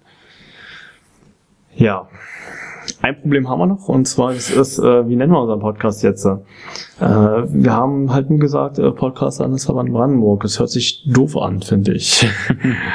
und äh, nun haben wir schon einige Vorschläge hier bekommen, äh, wie wir das nennen können. Äh, wir können ja mal kurz durchgehen und äh, so richtig überzeugt sind wir noch nicht. So richtig überzeugt, der richtige Knaller ist noch nicht dabei. Genau. Also falls ihr Vorschläge habt, Wir haben dann, dann immer her damit. Also wir haben jetzt zum Beispiel äh, Fontanelle, also in Anlehnung an äh, Fontane, Theodor Fontane, äh, den Marktcast, äh, Gegenkurs, Gezeitencast, das heißt das Bullauge, Blindfisch, Seemannsgarn, Affenfelsen, Kielwasser, das sind alles hauptsächlich sehr marine Themen, wo man auch meinen könnte, dass sie zu den Piraten passen.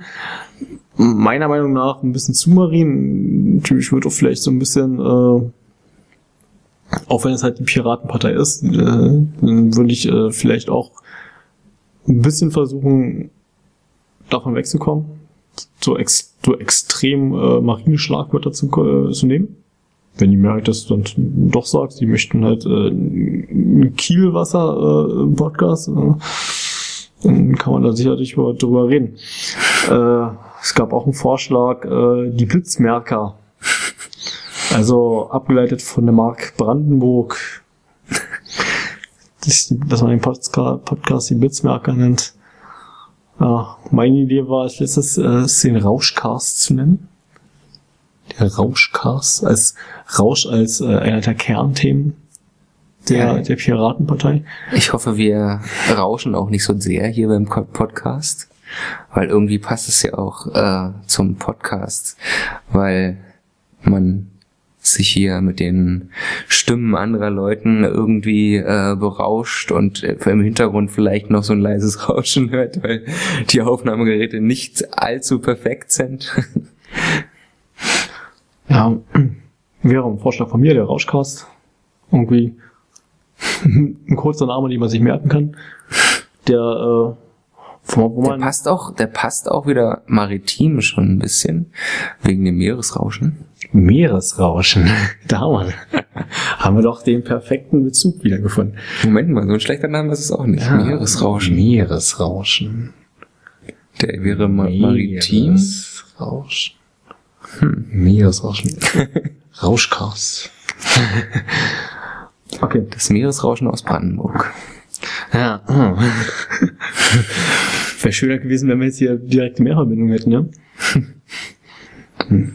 Na gut, da, darüber können wir ja noch äh, diskutieren. Okay. Okay, Christoph ist gerade geschoben. Ähm, das, das, oh Gott. Das war schon mit unserem allerersten Podcast, den wir gemacht haben. Hoffen wir, dass im Januar gleich äh, ein neuer folgt. Themen wissen wir noch nicht. Bis dahin wollen wir dann auch endgültig den Namen äh, äh, fest haben. Und äh, wenn sich da keine Einigung äh, beim Namen ergibt, dann bestimme ich einfach ein. Mensch, dieser Sven. Ich ergänze mal Meeresrauschen. Meeresrauschen. Ja, dann vielen Dank fürs Zuhören. Ich hoffe, es war einigermaßen erträglich und nicht zu lang. Okay. Es war nämlich ganz schön lang. Ja, das war länger als Ich geplant. glaube, wir haben hier auch, sind hier auch man, manchmal ein bisschen Abgeschweift? abgeschweift und so. Und dann hat sich das ein bisschen rausgezögert. Ja, aber ich glaube, das passiert, das passiert immer.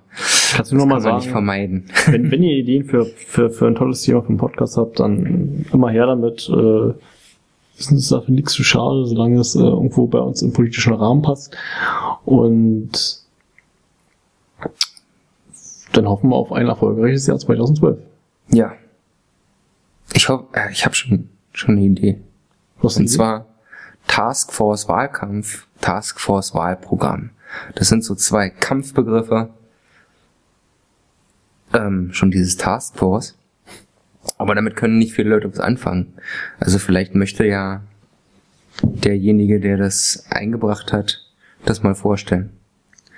das, das wäre eine Möglichkeit. Das wäre vielleicht eine Möglichkeit. Na Ja. Na klar gerade, gerade jetzt, äh, wir haben ja darüber gesprochen, Politik, äh, Programme müssen erweitert werden, müssen fortgeschrieben werden, wer, Genau. wer was ansteht. Und ähm, ich glaube, damit kann man nicht früh genug anfangen. Das einfach mal vorzustellen. Okay. So. Dann verabschieden wir uns für heute. Einfach mal abschalten.